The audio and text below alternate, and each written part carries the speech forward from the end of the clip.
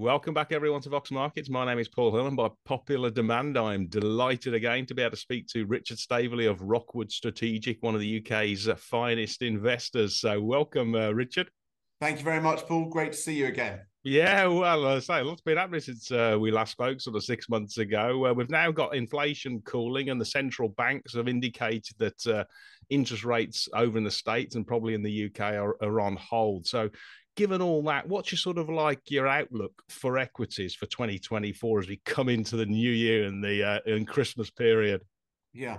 Well, I think we've got reasons to be a bit more uh, upbeat, actually. Uh, and the market's kind of telling you that in the last couple of weeks. I remember every other time we've had a market low, everyone only realizes it was the market low until about a month afterwards. And it's possible we might even be in that phase right now, but I'm not going to pin my color to the mast to that. Um, and why that is, is because it does look like inflation is clearly coming down, which is great because markets for us, or the way I see markets, it's all about the interest rate, rate cycle, always has been, or always will be.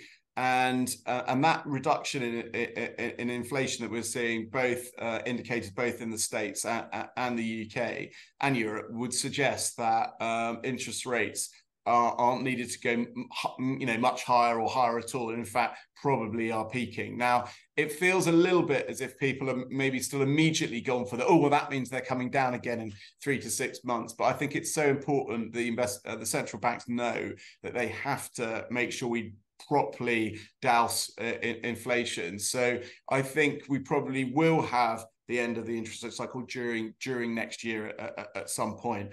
The the point where the, just slightly um, uh, caution everyone is is that um, that the full effect of the rate increases we've had this year are, st- are, still to fully play out. And I don't know about you, Paul, but I know at least three or four uh, friends uh, who who haven't yet had their um, mortgage rates um, reset uh, on on their variable rate mortgages, but are definitely rather concerned about what that might mean, even you know at, at, current interest interest rates, and that's still got to play play through a bit. So we we, we shouldn't get too excited about the end, environment in terms of end end economics.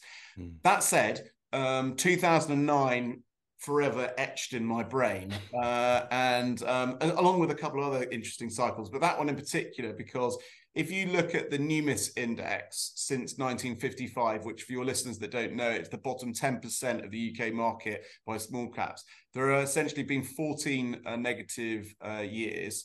Uh, since 1955, which is quite exciting because that means we're nearly 70 years in, and only 14 of them were down years if you're invested yeah. in small in small cap. If you look in those 14 years, there are actually three double year episodes: uh, 73, 74, uh, 2001, 2002, and yes, 2007, 2008. And the worst year was always the second year of the two, um, but there hasn't been a third. And 2009 was a year where the market um, um, troughed, um, depending on which index you look at, in kind of March, April and, and then it was absolutely massive the 2009 rally. Small cap led value and recovery stocks led like rockwood's what rockwood's most exposed to. The point i'm set the point i want to just make to everyone is is that when that um when that when that starts to turn it's too it's it's too late. So you need to be positioned before that. Mm. but equally the recession actually lasted all the way through 09 so the real world was really hurting through 2009 but but stock market participants were starting to, to smile whereas when the real world was was still really quite quite horrible. So i think we're moving into that phase for for, for both markets and economies where we're definitely far closer to the end than the beginning. We may even have had the bottom uh, but it's more likely we just get um, a little bit more clarity that inflation's broken, interest rates can definitively start to improve. That won't be nice for economies, and then the market should should should move away. Uh, I couch all of that in my always comment I say to you, Paul, is that Rockwood, I specifically don't feel as if I'm very good at predicting markets, which is why Rockwood is all about stock picking. So, so we're we're positioned irrespective of what markets do within Rockwood at the moment. Well, you, uh, don't be so modest. Your, your actual record speaks for itself. I think you're sort of top of the charts in the investment trust space for the last one year, three years, and five years. So uh, you can give yourself a little sort of pat on the back. Well, I will anyway.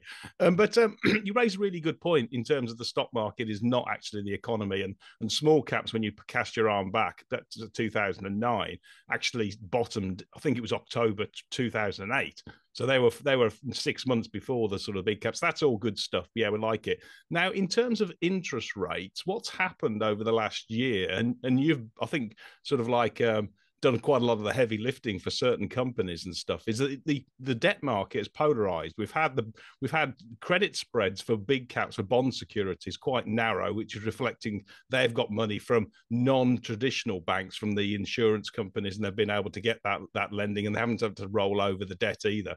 But small cap world they rely on the banks, and the banks have been actually reducing their borrowing because of every, all the deposits have been going into money market funds. So they haven't done as much money. So they've been liquidity has been sucked out of that small cap sector.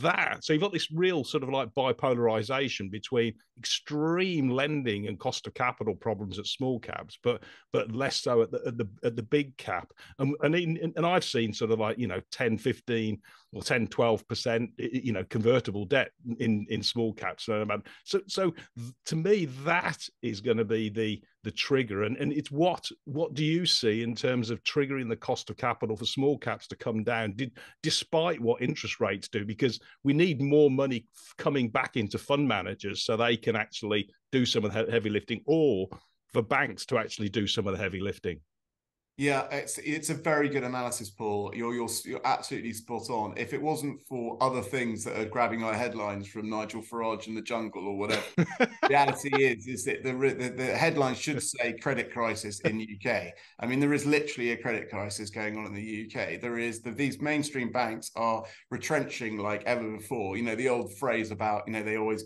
lend give you a bloody umbrella when it's not raining, but mm. it is they won't lend you one. I mean that's that's what's going on going on now. They the banks uh, do need to. I think it's very difficult for the mainstream banks to get out of that that mentality at the moment. But for but two things might happen or would, it would be good to happen. Firstly, I do believe in capitalism. I do believe there is a way, and you've just referenced even then some some rates of return on lending money that would suggest that capital might be interested in lending that money. So the the equivalent of the shadow banking sector, which is far bigger in America, has been a critical part of their entrepreneurial and business uh, kind of investing stack from mainstream banks down to uh, angel, angel investing.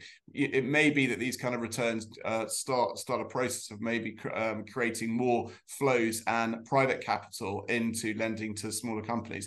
I mean, and and second and secondly, I do think that money will start to flow back into UK um, small companies, definitely in public in public markets.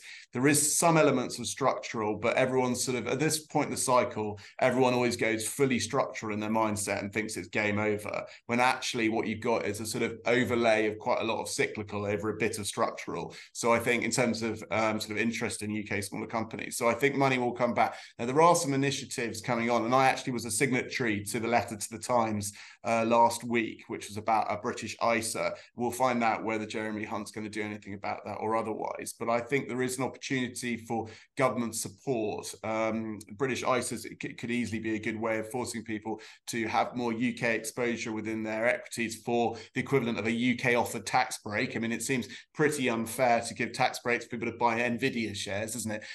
I mean, so so like uh, that that idea I quite like. There's one I personally have. It hasn't um, hasn't been as much, but I don't see any reason why we couldn't do some sort of scheme around uh, no CGT for investing mm. in UK small caps, but with a forced sort of recycling mechanism somehow about either holding periods or through tax years once you've held it a period of time. So you're not just sort of hiding your money in in a in a fever tree after it clearly doesn't need your money anymore and it's been around a few years for it for for tax for tax purposes. But something like that could be uh, could could be interesting.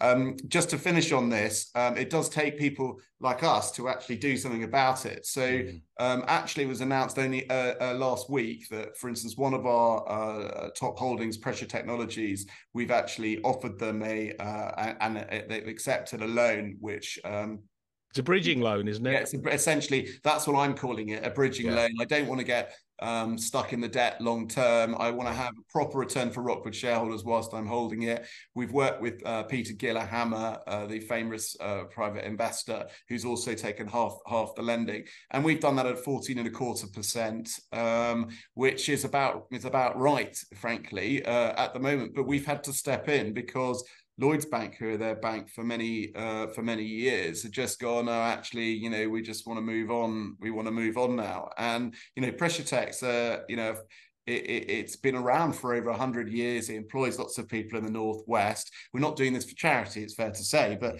but the reality is is that it's a one of the it's a leading global manufacturer in the submarine market, and actually ha- it's continuing to help build our new nuclear sub- submarines, which is all in all our interests. So I think there is a role. It does gas cylinders, doesn't it? It does two divisions. It's got sort of like uh, it's uh, was it Chesterfield Special Cylinders business that does sort of like help submarines with their gas canisters and to better buoyancy, I guess. And well, and it's then... it's both the actual yeah. So yeah, yeah. So Chesterfield's been around for many years. Has sales of on a, on a bad year 18 million, in a good year, recent years 22 22 million quid.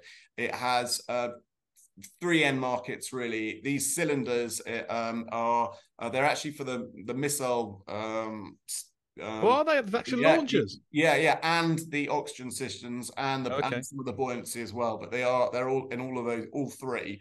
Um, and uh, but they also do those canisters into ejection seats for um, fighter jets and um, and a number of other small defense. It's a real specialization that is. Yeah, that's, yeah, that's high and, value. Yeah, and then they do all the ones for BOC um, and have other industrial applications. Now, it's not just anything. What's great is is because very few people can actually do what they do to the qualities is required. Uh, they're, they're we're, we're, selling these things even to the blooming French Navy. Uh, the Taiwanese Navy, uh, Taiwanese, the sub submarines for your listeners that don't know is actually a growth market. It is, it's uh, massive.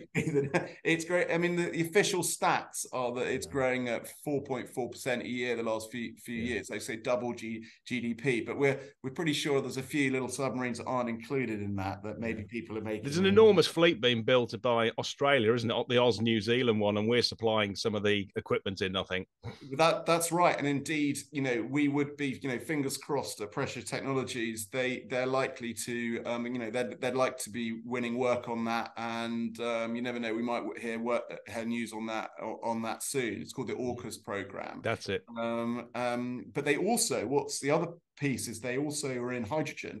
So um, very quietly, um, particularly quietly, because quite rightly they they didn't want to sort of overpress it because they weren't quite sure. And there's been a lot of false dawns in renewable energy mar- markets, but the hydrogen sales at, at Pressure Tech of these cylinders have been growing over the last few years, and they're quite quite a lit from a very small small base, and it, it's feeling um, well. The, the evidence would suggest, and the pipeline of pros- prospects would suggest that that it's a real thing now. That the the and what they're focused on is essentially refueling for the hyd- emergent hydrogen economy. So let's say you switch the whole of a city to uh, hydrogen-based buses and all that sort of stuff, then they'll have refueling plants and and you have static storage um, uh, think, um, uh, requirements and pressure tech cylinders are you know are very very high spec, so they could potentially be in there. They're also they've got these aspirations pressure tech to develop, and they do a bit a bit of it already. They work with Bab- Babcock. They in in um, the in, actually test then checking everything's working which is yeah. nice business you know you know send a chap in call cup and the services side in, in uh, and yeah that's quite a high multiple business bringing that all together market cap is about 11 million quid at pressure technologies yeah uh, the other division you mentioned does is up for sale it's it's an oil and gas, isn't it? It's precision machine um, parts, I think it is, isn't uh, it? That's right. They they basically have a they have the roster of um, oil and gas customers. I mean, it's literally it's like the Beatles. They've got like um, you know Baker Hughes, Schlumberger, Expro. They absolutely you know they're, they're all they're all there, and they're those guys have been very quiet for the last few years. The cycle is clearly on the on the up. Most people don't care in, in stock markets anymore because and like half half the fund managers been told they're not allowed to buy an oil and gas company again. So they don't bother reading the news about oil as much as they should do. But basically, the services thing is is on the is is on the is on the build. And that company that that division's been put up for sale we you know we, we'd like we we think there is that there will be value which will then pay back the loan that we mm. the bridging loan leave them some extra money over and then the business can focus entirely on chesterfield's prospects going forward now i don't know about you paul but if the i think if you look in the accounts if you don't know if you have but uh, if, if if anyone looked in the accounts for chesterfield you'll see that the divisional profitability of chesterfield over the years has been really quite good mm. um you know t- teens level of, of, of margin or prof- profitability. And so, like, you know, um, 20 million of sales on low teens profit, profitability. As I've just mentioned, the market cap's 12. So you know, there's quite a lot of value hidden there, and of course there is because it's 12 million quid, so everyone's forgotten about it exists. It's quite it's quite well owned actually in the private investor community community, yeah. and I'm sure any of your listeners that own it will just be cursing and swearing, and thank God they're they're they're on mute. Um, it's been quite a journey, Pressure Tech, to this point.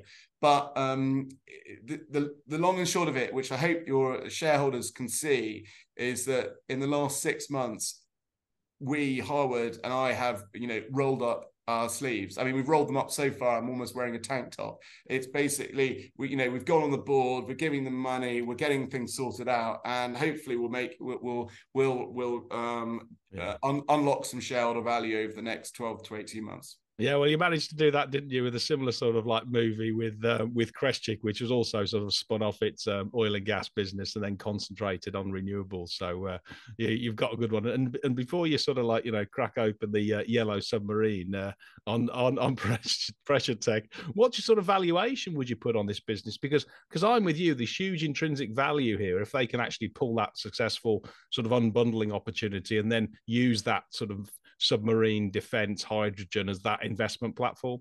Yeah, um, it's actually a little bit of a tricky question for me to answer from a regulatory and responsibility. Yeah, okay, fine. Because I'm on the board. Yeah, okay, it is fine. public information that prior to me going onto the board, I've said that the oil and gas business.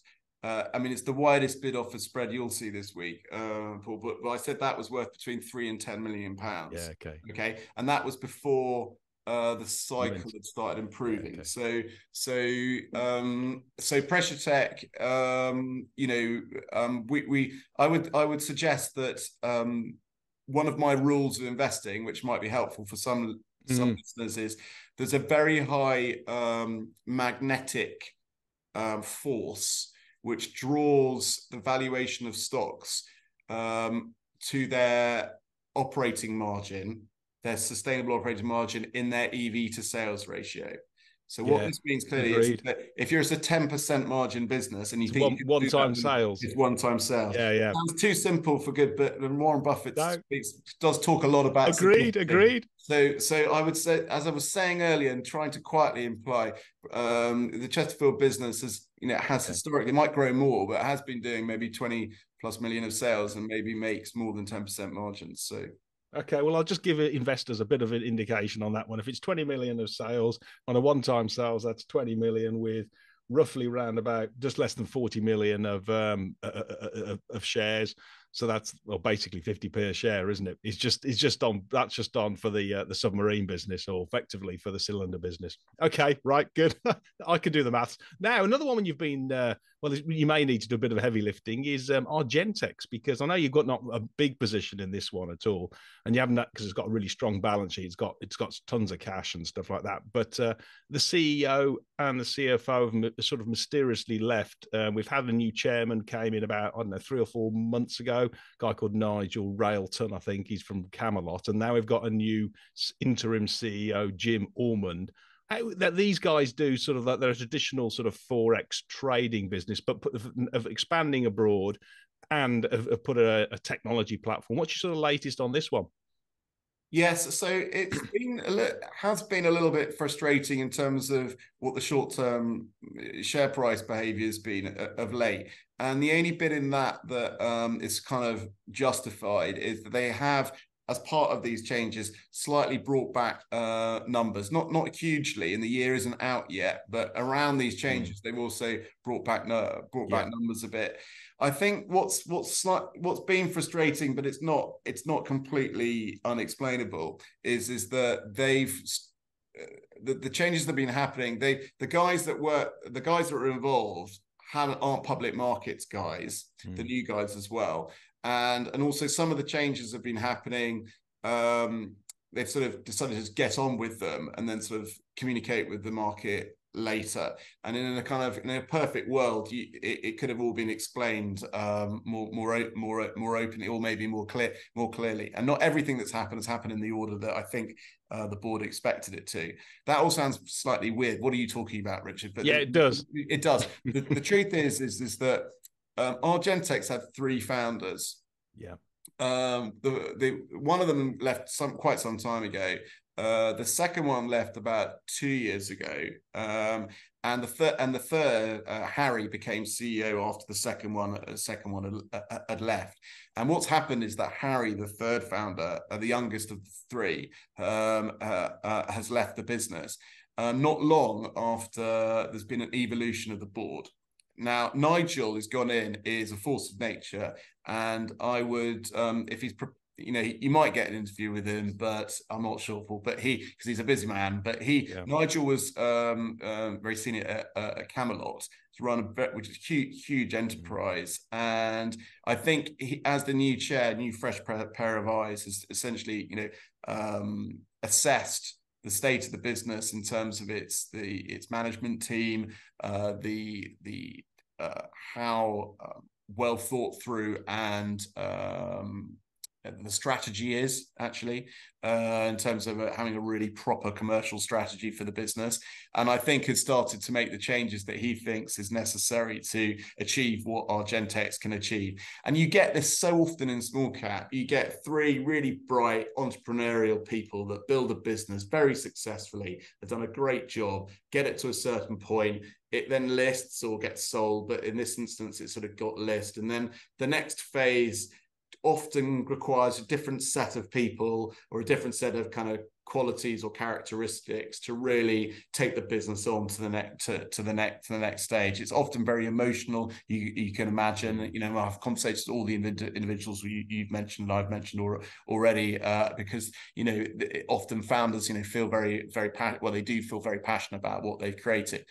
But so what that's a long-winded way, frankly, of saying that Argentex board is, evol- is evolving run uh, via a very, very experienced uh, in our in our chair, and um, the exec team is now evolving as a result of that. The business itself is despite is going to do 15 million of profit this year at yeah. least that's what they've just said so this is a very this is one of the most they've only EBIT, got EBITDA isn't it 15 million 15 million EBITDA. EBITDA but it pretty much all goes into cash because the I is yeah. in, interest income yeah, yeah? Uh, they don't. They're not. They're not have huge amounts of capex, but on tech. But it's not huge. You know, it's a very cash generative, very cash generative uh, business. And you know, they um, and and this is the point. It's only got just over. I mean, how many companies do you follow, Paul, which mm. have hmm. got 110 employees and make 15 million quid EBITDA? I mean, it's this this yeah, is a really attractive business. And what, what what what often you find in life is that the really attractive businesses have super niches, you know. Mm. But this is the, they're a disruptive uh, business that could, that's taking on potentially banks everywhere. I mean, the moment the UK they're up to just over fifteen hundred corporate clients, mm. uh, very sticky clients like what they do, where they're providing a much better service than the bulge bracket bank bank. Yeah. They're they're doing it at a much cheaper cost, so they get they get a the, the clients get both a better deal and better service. They're, as a result, they're sticky and growing. Uh, it's been growing for years throughout throughout all of this. They obviously they're, they're lapping. I think part of this is they're lapping a bit of a big bonus last year from um, mm. Miss Truss. He's about the only person that benefited from it. But yeah, okay, yeah, yeah, yeah that was the LDI crisis. September. Yeah, and there was a load of FX, huge yeah. amount of FX volatility and stuff done around that, which created a bit of a sort of one-off amount of volatility. Um, but they, the reality is is that they have there's a there's there's there's a number of additional products which they're developing or could do to add to their sort of um, mainstream type FX solutions they give to their clients. Equally, they they they've they've now licensed in the Netherlands, but there's FX requirements all over Europe, and they're waiting for a um, a, a sign off in Australia. It's fair to say I think the the changing of a CEO actually delays that because you have to like re-sign the yeah, CEO okay. of, the, of the stuff, but that but um, so the business is highly profitable. It's got a huge potential growth over the long term. it's going through a kind of um, you know cadre change, which mm. injecting more maybe more professionalism or a different uh, you know a different style of uh, of leadership to how you execute on that bigger bigger market and you know hidden in the corner of this discussion is this the doyen of mid cap, um, small cap managers, uh, and the small cap managers that own it, even though it's huge, mm. uh, called Alpha FX, which yeah. is the without a doubt the one that's really sort of done it. Uh, a very very profitable, grown, but not not not you know not miles dissimilar mm. to what Argentex does. You know, a lot a lot of uh, similar products um, not dissimilar growth rates. Uh, Alpha's got a lot of more size, a lot more size, and as a result, the stock market likes it more because of its size, and also that scale allowed it to produce higher operating margins. But mm. you know, w- we would expect Argentex's operating margins to, over the next few years, get up to at least thirty percent, yeah. and really they should be targeting forty percent longer term. We think the growth rate could be so. This fifteen millions on, I think, about fifty five million of sales, something like that. that yeah, right? 50, 50 million of sales. Yeah, about fifty million of sales. I mean, this is sort of one of the, this is you know it's one of the old um you know if there's a Christmas present where you sort of stick it in the yeah. you know you, you know you stick it in the back drawer and just cut yeah. you be, be it's one of the companies I'd be least what worried about in five years time. You come back and go, oh, it's it's actually twice yeah. the size and it's making yeah. 30 million of profit and now it's making 30 million it's a bit bigger and and people and they've sort of um, given some consistent delivery so we'll put it on the same or a near evaluation to alpha fx mm. in which case the market cap could be 400 500 million yeah, yeah. No, I would agree. And it trades, I mean, just even the current price, it trades about four and a half times EBITDA and about eight yeah. times PE. So, yeah, it looks totally mispriced to me. And I know the shares have fallen out of bed, but the business hasn't, importantly. And it's just yeah. got that. It's, it's a solid business and it, it just yeah. needs to, say, reset and change the, uh, change I mean, I, I, can, I can, I don't mind telling you, we don't really like talking about recent trading, but it's fair to say I, I we've added to our position in the recent mm. after the recent week after the recent weakness. So well, yeah, I'm not. Yeah, take the opportunity, no doubt about it. Now, another one which is um, James Fisher, basically, it's just sort of like a marine services business that does uh, sort of for oil and gas, but for defence as well. Um, and um, I think it does uh, it does something else as well, another division as well. But um, it's a sort of specialist. It's got quite a bit of debt. How do you sort of like you view James Fisher and also sort of reducing that debt? Because I think it's, it's, just less than three times EBITDA, which is in this market with the, the cost of financing is is is relatively high. It's not. It's yeah. It's it's definitely. It is definitely high. It's not. It's not any relative. It's actually absolutely high. Uh, I'd say. Um, but um, it needs to be seen in the right context for this business. James Fisher, oh, not dissimilar to quite a few stocks in Rockwood's portfolio, mm. has been around for a long time. We we yeah, like okay. stocks that have been around for a long time because we've got loads more evidence to judge what they mm how they behave through different cycles, what levels of profitability they they can do. It's the ones that haven't been around for long where you're not quite where you're sort of believing in where they might be, but you've got to sort of have the crystal ball. Whereas you know the old ones. Now James Fisher's sort of um, been around for 175 years, Paul. It's okay. It, has been around for a long time, uh, and they are they're in marine energy and defence. It, yeah. It's primarily a services business. There's a bit of there is some manufacturing in there, but services and manufacturing into kind of these specialist niches. And um, I mean, believe it or not, it, even though the market cap is now probably about 135 million today, yeah. um, it it's in it's got over 2,000 employees um, and it's in 18 countries. Mm. And um, last year they did EBITDA of about 65 million quid, I think, yeah, yeah. of my head. Uh, six million. We think they can do 85 million uh, of EBITDA, and that's actually not a big stretch from hmm. 65 mm. million of EBITDA. Uh, and why that's important is because um, um, what's happened is the previous management team, as usual uh, in these such companies, they've got a fantastic set of businesses that generates loads of cash and generated high returns on capital. And all of a sudden, at some point in your history, some guys take over and get carried away, don't they? And buy lots of businesses that aren't quite as good for the wrong price, splurge all the money, uh, jack up the, the debt, and you know they look very clever for a little bit, and then it all goes wrong. Well, they've all been fired So um, Jean Vernet's gone in. Jean is that is yeah. a really good operator. He was a um, managing director of one of the divisions at Smiths PLC for oh, okay. 100. He ran the John Crane business, but he's also in his prior to that done a range of really serious positions glo- globally in interestingly both marine and energy uh, uh, business um, um, sector sectors. So he's got he's got a, a, almost a perfect CV, CV for the for this job.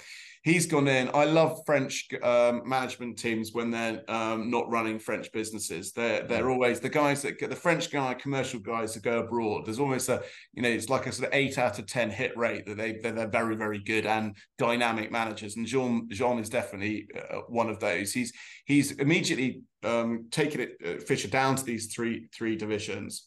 And what he said is, we're now making 5% margins. We should be able to make 10.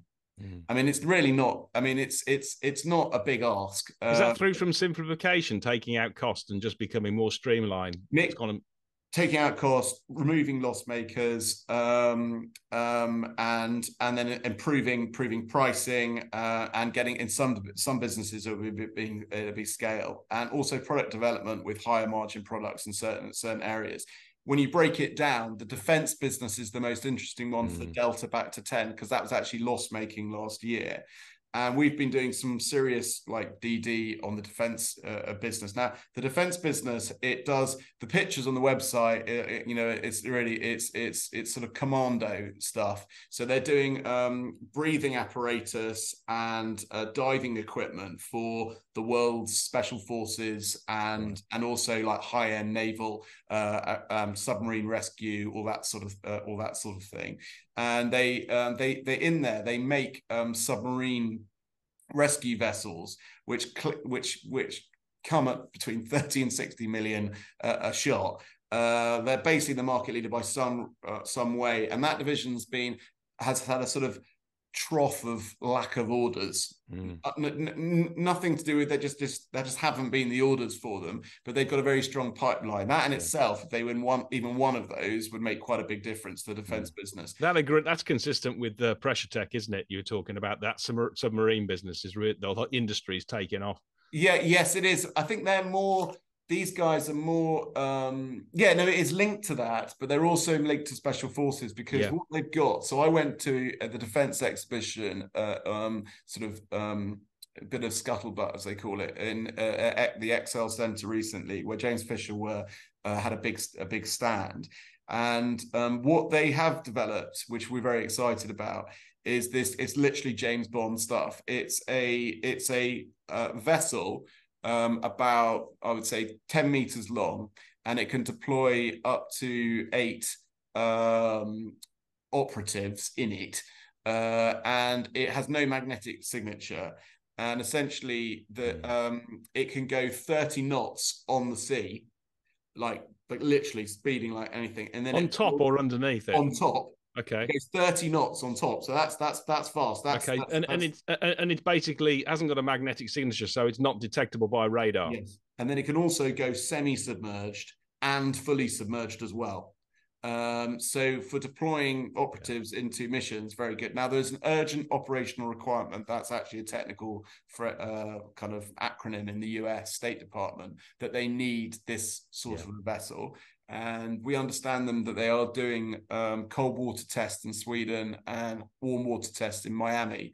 Um, that that that that uh, vessel will cost several million dollars per vessel. And um, for those that like their army and um, uh, action films, um, there actually there are 50 uh, SEAL teams in the US the operational requirement for each team for a team that has these would be three. And we understand from some parts of our due diligence that it's possible that these are going to be designated expendable um, uh, which is different than disposable, but it basically means you can blow it up at the end of the mission or leave it behind if you if you need to. You don't have to sort of save it, um, yeah, sort of okay. thing, which is also quite good for the old uh, repeat order business if they start using yeah. these things. Anyway, it's quite they, they that that mm. so a combination of product development like that. Um, uh, maybe one of these big ones they've had in a while. They've been talking to various navies about for a while. Drop drops in, and defence should move back to that decent decent margin. Now the energy bit it was was was sort of used to be uh, well the marine bit used to be helped with um, the oil and gas industry and indeed decommissioning is going to be a very big thing for for James Fisher over the next the next next 50 the next 50, 50 mm. years but they also do um, they've taken their skill sets about um, servicing and maintaining um, um, oil wells and they're taking that to guess what yeah the offshore wind turbine market which as we know is is proliferating like anything like anything and uh, has a load of very similar kind of kind of requirements and they've been growing worldwide in their in in, yeah. in their contract wins there. They have one particular technology which is fascinating, where they, it's exclusive to them. It's very high margin, and it's becoming almost sort of um, you know they have to have it because of yeah. the client's uh, ESG requirements. It's a bubble uh, like a bubble wrap. This is, by the way, this is Richard Staveley's. Uh, yeah, okay, yeah, yeah. People bubble that wrap. make it will be absolutely horrified about how I'm describing it now. But basically, it's a bubble wrap that you put around an oil well or a, or indeed a, a wind turbine, mm. and it it's um, helps all the marine life. It basically, oh, okay, um, sort of yeah. it protects the marine life, helps them. It's sort of permeable but not semi-permeable, and it kind of like um, that sort of thing. They're using those to to put around them, deploying deploying those. Um, so um, finally, they've got these marine businesses, and they're the one of the world leaders in what's called ship to ship transfers, yeah. which is when um, the business called Fendercare, but um, again, without trying to kind of be be too naughty about it, but basically, so Dimitri's got a big cargo oil, and then and then um, Lusakov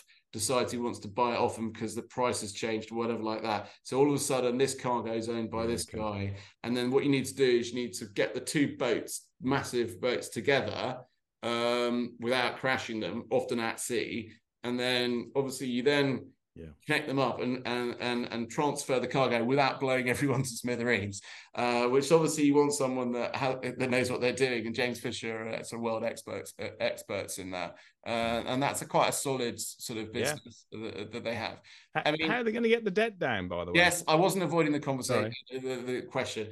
Sorry. So 135 million of debt, roughly like that. As I just explained, we think they can do 85 million of EBITDA. So that's already moving towards a ratio which, if it got to that point, whatever. Mm. But let's flip it round and say they've still got quite a few businesses in each division. Okay let's say we just for argument's sake, Paul, we we we lose 10 million of EBITDA in a disposal for six times mm. EBITDA. Yeah. James Fisher's average EBITDA multiple since 2010 is 10 times EBITDA. Everyone's forgotten about this because of yeah. where the business is, where the market is, mm. but it's always been valued very highly. It's a very good business. So let's say we lose 10 million of EBITDA for um, 60 million quid of debt. Yeah. The 135 goes down to 75. We're now below one times EBITDA. My my target EBITDA falls from 85 to 75. Let's say I'm not even right on my 85 and get 70 million. Mm. And then we're but now we've not got a debt issue and and the business is stabilizing, what would be a fair EBITDA multiple for 70 million of, of EBITDA? Oh, yeah. Well, it might be, it could actually be itself six, seven, seven, eight times, nine times, it was 10 times before, mm. 10 times before. And obviously the market cap is currently um, uh, the market cap is about 140 mil. Yeah, yeah. So this thing, quite literally, if they get this right, yeah. should could easily three, four, five bag um, over the next. Um, and how much how much time would you give a turnaround like this, or to restructure? Three to five years. We always it's three to five years is our um, uh, is our time horizon. No, I know for your investment, but yeah. until in you'd expect for a management team to sort of like you know start putting results out as in like you know i know when you did with with Crestchic and you were you know inverted commas engaged very muchly there with you're on the board that was 12 months it took and you saw a big uh, yeah the shareholders could see solid results afterwards yeah we, we next year fisher should be showing demonstrating its improvements pretty clearly yeah, okay. to everybody yeah and we we we we think that they um it's probably in John's interests to um, dispose of something during the next 12 to 18 months as, okay. As well. It's, as you say, it's not the easiest environment for selling businesses, but they've got some quite interesting things in there that are quite specialist and where where the likely buyers aren't too worried about what's going on in markets. Then maybe very big companies that are in you know, things like marine energy and defense. You've got some massive players like, oh, we're just we're just like that. Um, hmm. so so we, you know, I think these these market conditions and indeed Rockwood and our portfolio, it's very much um, we've been reseeding um, the portfolio with yeah. stuff where there's catalysts and people have changed quite a lot in the last 12 months. So we we we feel we have to take we you know it's critical everyone has a medium term view, but that's where you'll make the most money by investing now on a three year view. If you see what I mean, that's yeah. not waiting for year two. Oh, I'll come back to that in two, three years. It'll be you'll people will come back and go, oh gosh, I've missed it now. Um, mm. It's it's to invest now on a three to five year view is the key. Yeah, and just in terms of obviously you, you, take on a lot of responsibility with all the heavy lifting and special situations there, unbundling and restructuring and all. How should investors think about sort of the volatility in the Rockwood portfolio versus the very strong, as I mentioned, long term returns? Well, our actual stock volatility has been reasonably low. Mm. It's probably even you know slightly better than I mean, yeah. I mean, it is low. It is low. Um, mm. we, we we find that um, we'll get the occasional thing wrong. Um, we find we tend to get the things wrong when they're smaller positions because we're still before we've got once yeah. they become quite a big position they they tend to it's they've got to that point because we either know it's all going to happen through in terms of our thesis or it's performing well we're not we're not we're not taking any profits and we're just running running our winners you do get uh, volatility around things like say for instance our largest holding rm which i think we did speak to yes about every year ago and, and just to give a sense of you know when we from the off i was explaining to you and any um, interested investors in rockwood that these do these do exam um, services services as well as sort of distribution of educational material in the UK, isn't it? Yeah, yeah. So they've got three divisions. One marks exams, a brilliant business, makes 20% margins, marks the international baccalaureate exams, the ICAEW exams, and some GCSEs and A levels. One does supplies to schools, has about over 100 million of sales, and does everything from bespoke teaching aids and curriculum based, quite high margin stuff through to crayons and toilet rolls and then the third, um, literally, and then the third, and the third division is sort of a tech, um, tech outsourcing offering to schools. Um, so sort of sticky contracts, public sector, um, so okay, high single digit type margins business. Uh, they've got a few other little bits and bobs hidden in that division, but mainly it does um, sort of, you know, it'll do the IT for a collection of five or six schools in a trust. And that business got itself um, it did a huge ERP software yeah. system that went wrong. That gave us the opportunity to be watching for some time. We started buying at 26 million market cap, averaged in higher than that. And then it went, and then people realized it wasn't quite as bad as it was, and it performed really quite well.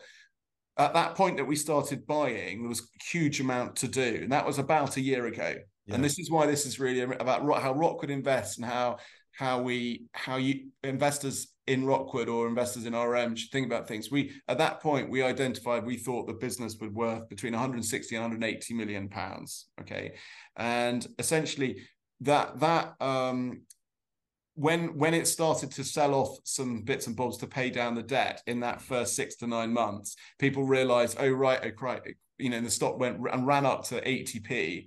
Now we didn't sell a single share because we think it's going to go to 160, 180 on a three to five year view. Now, one could say, well, why don't you sell them at 80 and buy them back when they for things that you know? But it's just not how we behave. So the volatility, to answer your question, is that's what we've got 10% of the portfolio in RM. It went up to 80 and then guess what? In the first year of the turnaround, they go one part of the the supplies division isn't quite recovering quite as quickly as we initially thought. Everything else is fine, but that business is not quite coming through. So we need to just temper uh, profit profit mm. forecast for the current year. But we're interested in where it's going to be three years from now. So that's sort of quite rightly up. You know, um, the market uh, stock was weak. It's back down to like 50, 50 million 50, now. Yeah.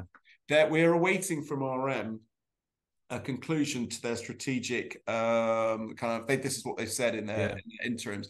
Their strategic think, thinking. Um, we we've had unbelievable amount of catalysts now in place for RM. So we've since we bought, we've now got Mark Cook's gone in as CEO, proven transformation guy. We've got a brand new finance director, ex private equity.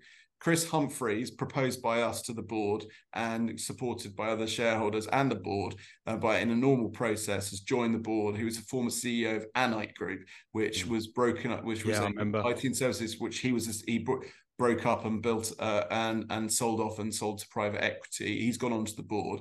Mark has then at the next level down, he's changed the um, uh, um, director on the uh, tech uh, tech business. He's hired a full time transformation director that he's worked with before in private equity. There's a new head of digital, which was sorely needed, and a new head of real estate, which sounds like what's that all about? But there is some interesting real estate aspects to RM because it's also been around for a number of number of years. It's not quite as well managed for shareholder value as you you would hope. So quite a lot of change has, has, has gone on. They they we hope that they will conclude, uh, which is what we've been arguing to them and anyone that will listen, is is that the best thing for our own shareholders is for the business to um, essentially, in a sensible fashion, uh, break up the business. Yeah. So sell each div- division over the next three to five years and improve them along the way if they think improvement. The first division, though, should pay down quite a lot of the debt at RM.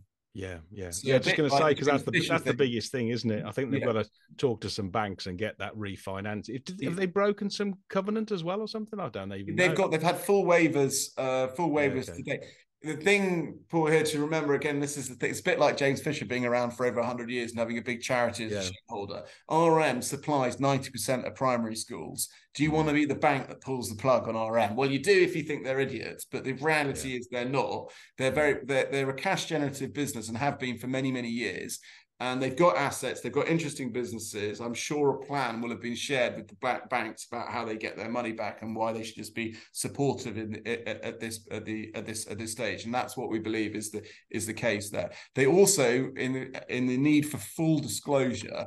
They also, because they've been around years, do have a reasonably large pension scheme. Mm. Um, but and the deficit was a real sort of you know I don't know what that phrase is, but you know around the neck thing. I mean, it really was yeah. quite a big problem for them a few years ago.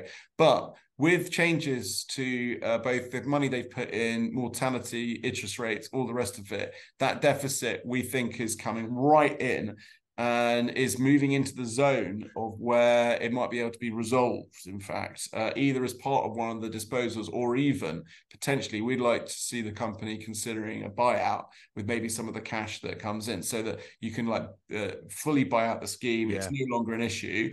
And then maybe the first, the first or the first and the one and a half of sales, one and a half divisions of sales take out all the debt, take out all the pension, leaving you with a couple of the, the best businesses for the next three to eventually monetize value from that. That's kind of where our thinking is. And we, we, we, we're looking forward to seeing what the board concludes, but we think they've got some very bright people in there that we think are likely to. Um, yeah.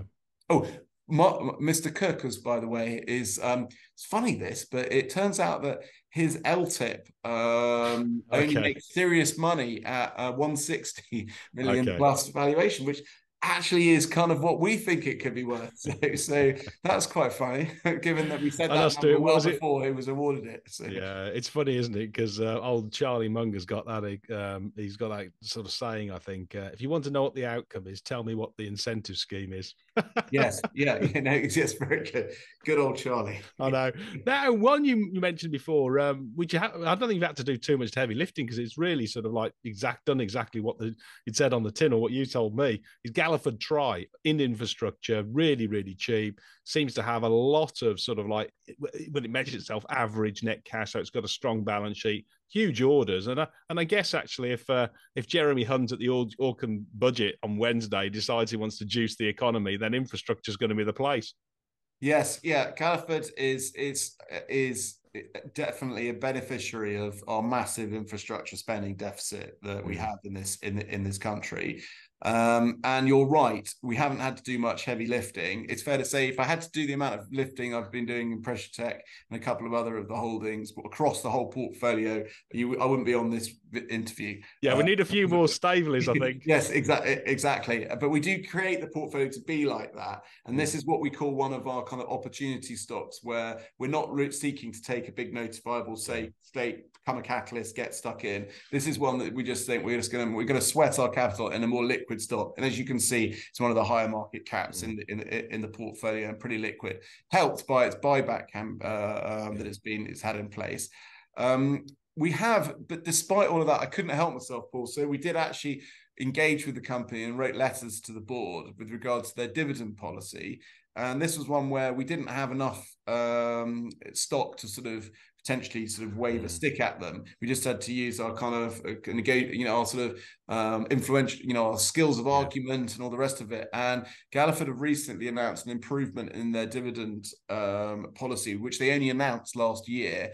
Um, so we engaged them, and it was two times cover. And the reason is, is that we we're looking they've got this it's a galliford's market cap what have you got have you got it there right now? It's yeah i have yeah it's probably about a 240 mil but they've got uh, average cash of about 135 that's right. So so 135 million of average cash spot cash is near yeah. near 200 but they're they're, they're very um uh, appropriately guide investors not to think they've got 200 mm. cash of their of their own. So you've got 135 billion of cash of their own. That's a good starting place for not getting into trouble as an infrastructure business. Uh, I think it was debt that killed Carillion, wasn't it? In, yeah. in, in, the end.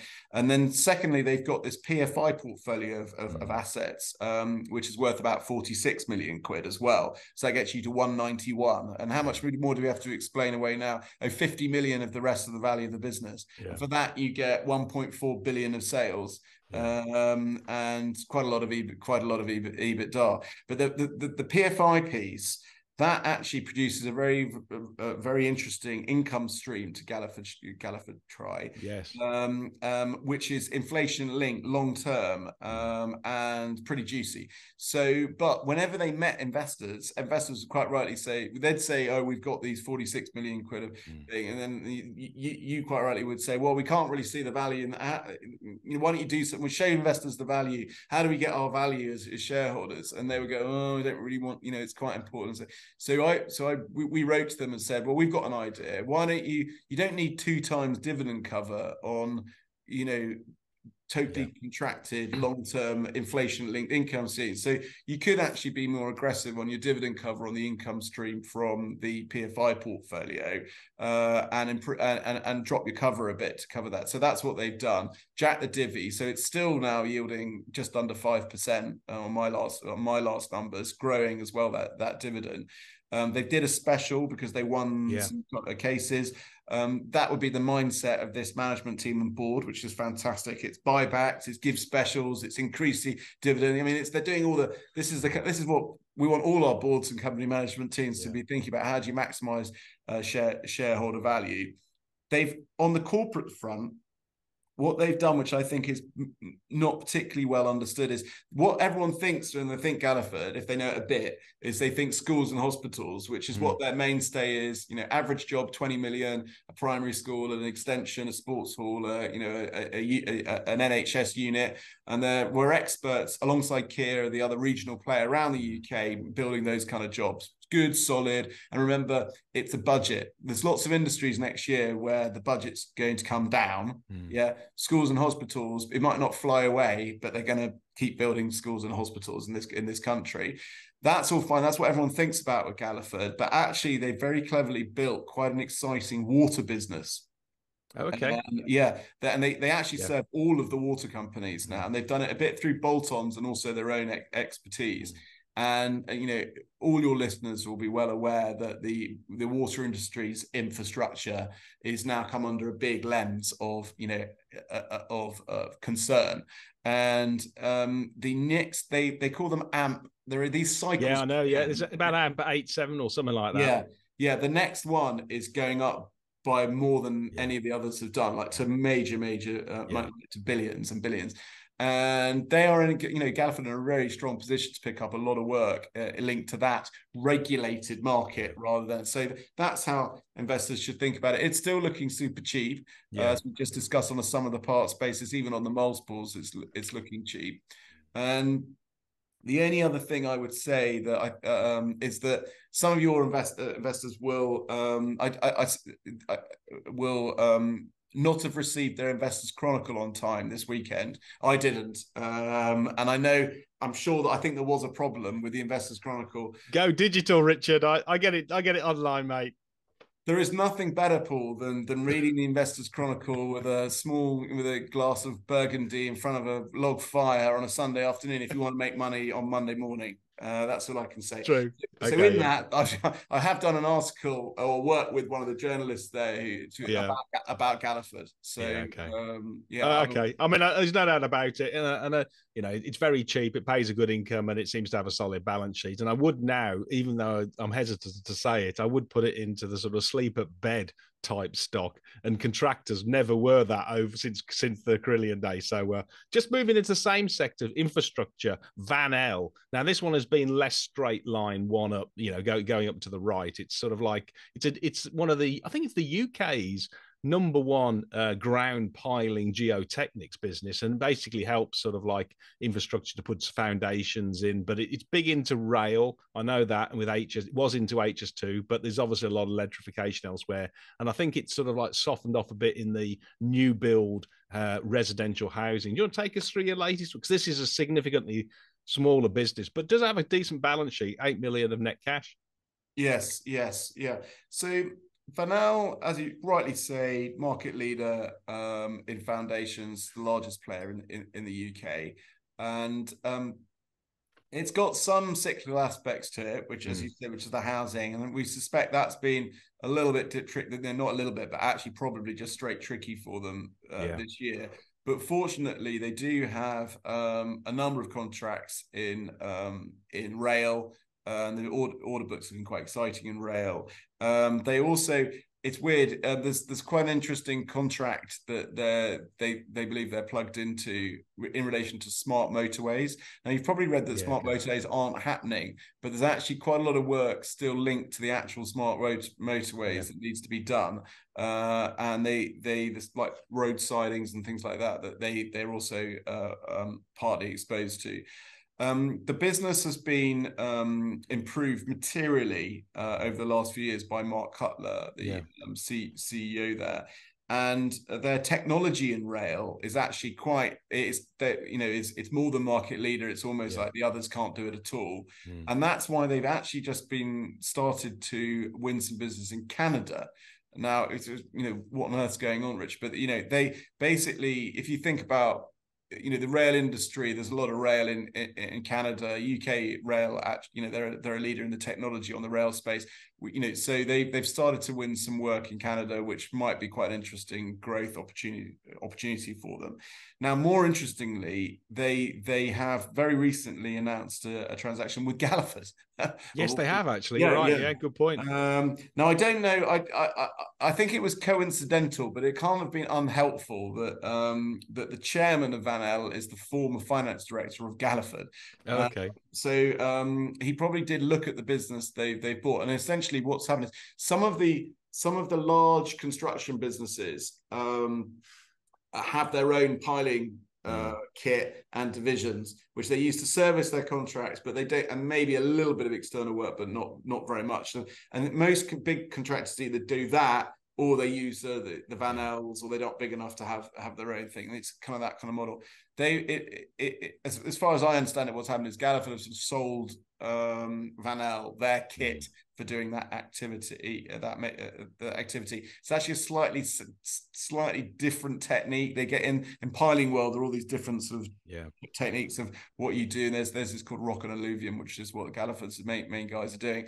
That that um, um, looks ostensibly not particularly exciting because it looked like it's sort of break even business, the business that they bought. They haven't paid too much for it. But I think it's going to, that they expect, the management team expect it to have quite an impact actually over the medium term in terms of winning more work from Galliford, which is obviously a huge business relative to uh, Van Elle, tying the links in and also um, they the ability to kind of cross sell other services that Van Elle do that mm. wouldn't have gone into a Galliford deal that they wouldn't have gone access to. So there's quite a lot of quite interesting strategic thinking. And finally, regionally, um, it's in the south and southeast. And Van Elle do work obviously down uh, in the south southeast, but Van Elle's historically been more northern uh, Midlands, Northern, and and Scotland uh, uh, um, bi- um, business. So it's on a low multiple. Um, we we think they um, we've been encouraging them to think ambitiously at Van Elle uh, with regards to um, the next stage of their growth. Their growth. If if they can't they, they really do need to come up with something ambitious to sort of break out of being of being small the margins have got some more improvement to do so i yeah. think officially said to eight percent margins currently about five and a half so there's a bit more profit recovery without turnover growth um, that's probably all that's probably uh, you know the view there for us it's it plays the infrastructure it's it's, it's performed well compared to average aim and since we bought it um, not shot the lights out we've got a bit decent profit yeah, no, I would agree. Definitely, they're good, solid businesses that have been around for ages, and uh, you say their sleep should be relatively sleep at, uh, at, calmly at night type stocks. Now, they're all sort of benefiting with the ones we've gone through, all benefiting from secular growth. That is one you've got STV, which is a sort of like a it, you know, it, it's a it's a TV advert. Sorry, it's, it's a TV broadcaster in Scotland, and it does traditional linear telly, and which is obviously come through your aerial, and then does over the top stuff, video on demand, and digital, and I think it has its own sort of like um, studios as well, specialist studios. Take you take us through this one because linear telly, you know, is just is is really really struggling unless it's got something unique. It's it's it's it's probably advertisers are not going to go there long term. Yeah, so um, STV, fascinating situation, been around a long time. Mm. If you if you can get if you're old if you're old enough, you can remember that they, they they, when they sort of privatized ITV, there were a range of kind of like regional and otherwise TV companies. Yeah, they all got consolidated into ITV, apart from Ulster TV, which was bought by yeah. Liberty Media and was listed a number of years ago, maybe like ten years ago, mm. leaving mm. the only other one being S being STV. Yeah, which importantly, is the number one broadcaster in Scotland. Like hands down, the number one news show in Scotland. If you want to advertise to anyone and get them, is the STV News at, at six. Equally for drama, uh, num- number number one in Scotland. There is apparently a bit of a cultural thing, is that quite a few of the Scots see the BBC as being English for whatever. Yeah, okay. And so uh, STV is seen as being the national uh, national broad, broadcaster. Um, now that's been the heritage is obviously linear and very very difficult. Mm. Now there is an interesting piece here about cyclicality. The broadcast profitability, the broadcast they call that broadcast. Mm. Broadcast is likely to be down fifty percent this year. That's how cyclical um, that kind of activity in in line with uh, ITV, or actually slightly better than ITV. And in fact, the channel has been outperforming ITV, and they have a link long term agreement with ITV to show their content in STV plus their own plus their own their own content content. So that so in relation to broadcast, which I'd accept is a at at best a sort of very slow declining kind of um it's like uh, print media isn't it? Broadcast. It's well it's well this is the thing. So hidden in there is the following. I know you're looking as skeptical as you've ever i am yeah sorry i am. now. so in there they own they've they have this thing called stv player. You, you, you yes now that would be that would that'll, that'll work. Yeah. So let's just pretend nothing else exists. I'm about to talk about at stv yeah okay. This year the STV player is going to do uh, roughly 10 million of sales. Yeah.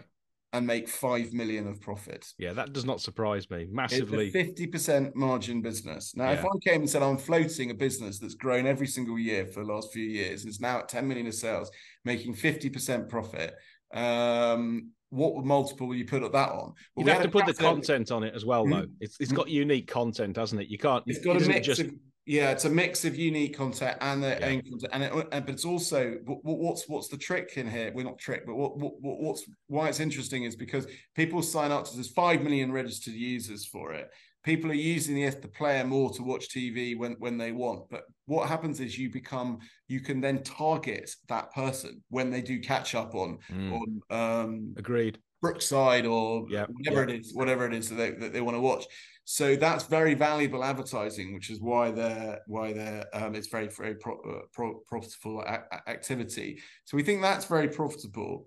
The broadcast actually, although you could argue it's it, it's still it's still if you want the biggest number of hits um, to advertise to the people of Scotland, then you would still advertise on um, on, on broadcast and STV. And a number of their shows are the number one, mm-hmm. you know, shows. They now this is where we get onto um, their creative side. So they've always done stuff. They've always had a kind of production unit to create their own content. Taggart, uh, yeah. all, the back office episodes of Taggart or ST, STVA, and believe it or not, catchphrase is one of their. Oh, is it? okay. well, and I know you're a big fan of celebrity catchphrase, Paul, but that. that, that um, Funny that, you should say that yeah, yeah. but they're on series 10 of celebrity catchphrase currently. Um, and that's that that I can tell you that it doesn't take anyone much time to work out. That's a highly profitable, yeah. profitable TV format. Uh, you think about the costs involved in running yeah. catchphrase. So so they, they do this, but they've been building that up. Now this year, that activity, the creative side, is likely to be 50% of all the profits at STV. Mm. Right. So, so what STV is is not a, it, it's it has got a challenged broadcast, but it's mm. at a cyclical low. Yeah. Broadcast business, but they've also got a dynamic digital business and they've got a growing um, creative business and content is what everyone wants now and mm. they've just they only a couple of weeks ago they announced they've just got a, got a big commission from america for a new reality show that they've developed yeah. called the underdog which is about um, social media stuff they they're um, a lot of their dramas you'd be surprised what they make and what they've been mm. doing but some fantastic if you go if you if people look look look onto their website you'll see they're creating a lot of very popular content, um, which you can get. Shouldn't, shouldn't they be bought by ITV? I mean, you know, the synergy Let's get down enormous. To cross tax. Yeah, uh, yes. Yeah. Okay.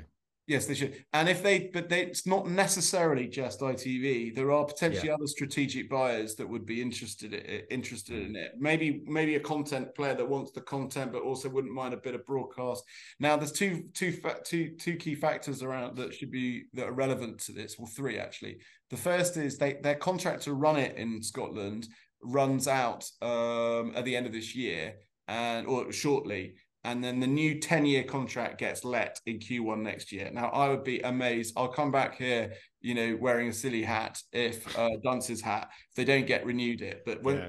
but it's important that, that if you think about how lawyers' brains think, so I would suggest it's important that yeah. they have that contract in place for the next 10 years, number one. Uh, number two, Simon Pitts, who's been doing the sorting out of STV has done a really, really good job uh, was formerly his brilliant um, CEO in my opinion, uh, and he was formerly head of digital and the Sirius um, um, MD at ITV, and I think he he was sort of possibly in the running, should we say, before um, uh, Diana McCall, I think it was, yeah, uh, who, who is the CEO of ITV, became, and he left shortly after her appointment to, to do the STV STV job. So he knows what I, ITV I, extremely well. I mentioned Liberty had bought Ulster. There's a range of other people, but the business itself is also highly cash generative. Yeah. I don't think I think it's easy to be very negative on broadcast, but uh, it's still very very popular uh, if you look at their stats. Um, mm. um, so you know their digital side seems to be really growing, doesn't it? I mean, that's their you know that that's the the lifeblood. The studios the creation and the actual you know digital side is is, yeah. is where the value lies i think is yeah. probably fair to say got a little bit of debt but not too much they've yeah. got 70 million of facilities debt about 30 million they have also got a pension fund issue like our, our rm that needs to be resolved but the larger companies probably not too mm. you know we'll think about that or that'll be reflected in the multiple but um it highly cash generative business stv yeah. Now another one, M&C Saatchi. We've spoken to about it a couple of times. You've now got a rock star, sort of like uh, internet real estate chairman, uh, Zillah Byng-Thorne. I think is the uh, is the person in the chair there. So uh, this. presumably the direction is going to be up for uh, M&C because it, it did have two bids, didn't it? When you first sort of like um, you know yeah. when, it, when you first mentioned it i think it was next 15 and um, it was a private equity one by um, uh, uh vin, vin Murria. Vin Murria yeah. Yeah yeah. So MC Saatchi everyone will know global global advertising yeah. business um, uh, very strong brand uh, around around the world. Had those two bids that were rejected quite rightly by shareholders. Uh, Harwood, we think we think MC Saatchi's worth uh, three pounds a share, just yeah. to keep it simple for. And it's one thirty now. Yeah, it's one thirty. So everyone's like, "Oh, we should have accepted the bid at two twenty, but we, you know, we think we'll yeah. get back to more than that in the in the end. It's come back to one one twenty, which is absolutely ludicrous. So the business is net cash yeah, uh, it'll have less net cash than it had, even though it's been cash generative, because they've been buying out a number of the minorities. So the way they within yes. the group. So what they used to do was someone would set up a kind of like like MC Saatchi Philippines yeah. and own a minority stake, and they've been cleaning that all up so that we own all the earnings going forward, which is the right thing to do. Yeah. Um, so, but there'll still be net cash. Uh, uh, we're expecting after that after that process, but we'll own all the uh, all the earnings or nearly all the early uh, earnings of of the company the company um, remains highly cash highly cash generative and the advertising piece is obviously a bit like stv advertise the adver- more advertising exposed areas particularly their creative agency uh, has been under pressure during during this year and about midway through the year they actually had to bring down num- uh, bring down numbers a bit around about the time zillah became um, mm. ex- well just after uh, she became uh, exec chair now the business um, the business is is still misunderstood. Why I say that is because this year the creative advertising agencies, which is what everyone thinks of when they think MC Saatchi, just mm-hmm. subliminally in their name, that's actually only about 25% of profits at MC Saatchi now. The, the significant amount of profits are in other things other than the creative a- agency. In particular, they have they are the you know one of the world leaders in kind of strategic communications, and they have contracts with the State Department, uh, well, essentially into the State mm. Department via someone else, I think, for a range of security reasons. They have the British government, Australian government, NATO, World Health, Health Organization, the UN, um, and that sort of stuff is very profitable, very good lines of business, but clearly counter counter cyclical. They also have do a lot in what they call passions, which is basically everything from um, like the Barclays Premiership yeah. to um, to Coca Cola for the Olympics. Obviously, got an Olympics coming up, and, and that sort of thing. And they, um, which are again aren't really linked to the same sort of tempo of creative advertising mm. uh, work that will come that gets that gets pulled back in a in a in a downturn like we've been seeing in the last in the last 12 months the bu- the business what what we what we think's happened is so Moray MacLennan who was the who who was one of the who was the younger member of the four founders of MC yeah. many years ago was the perfect uh, transition candidate after those four members had to really sort of mm. leave the business because they lost control of MC Saatchi. Price collapsed. Yeah. That's when we got stuck in at Rockwood and bought our initial stock.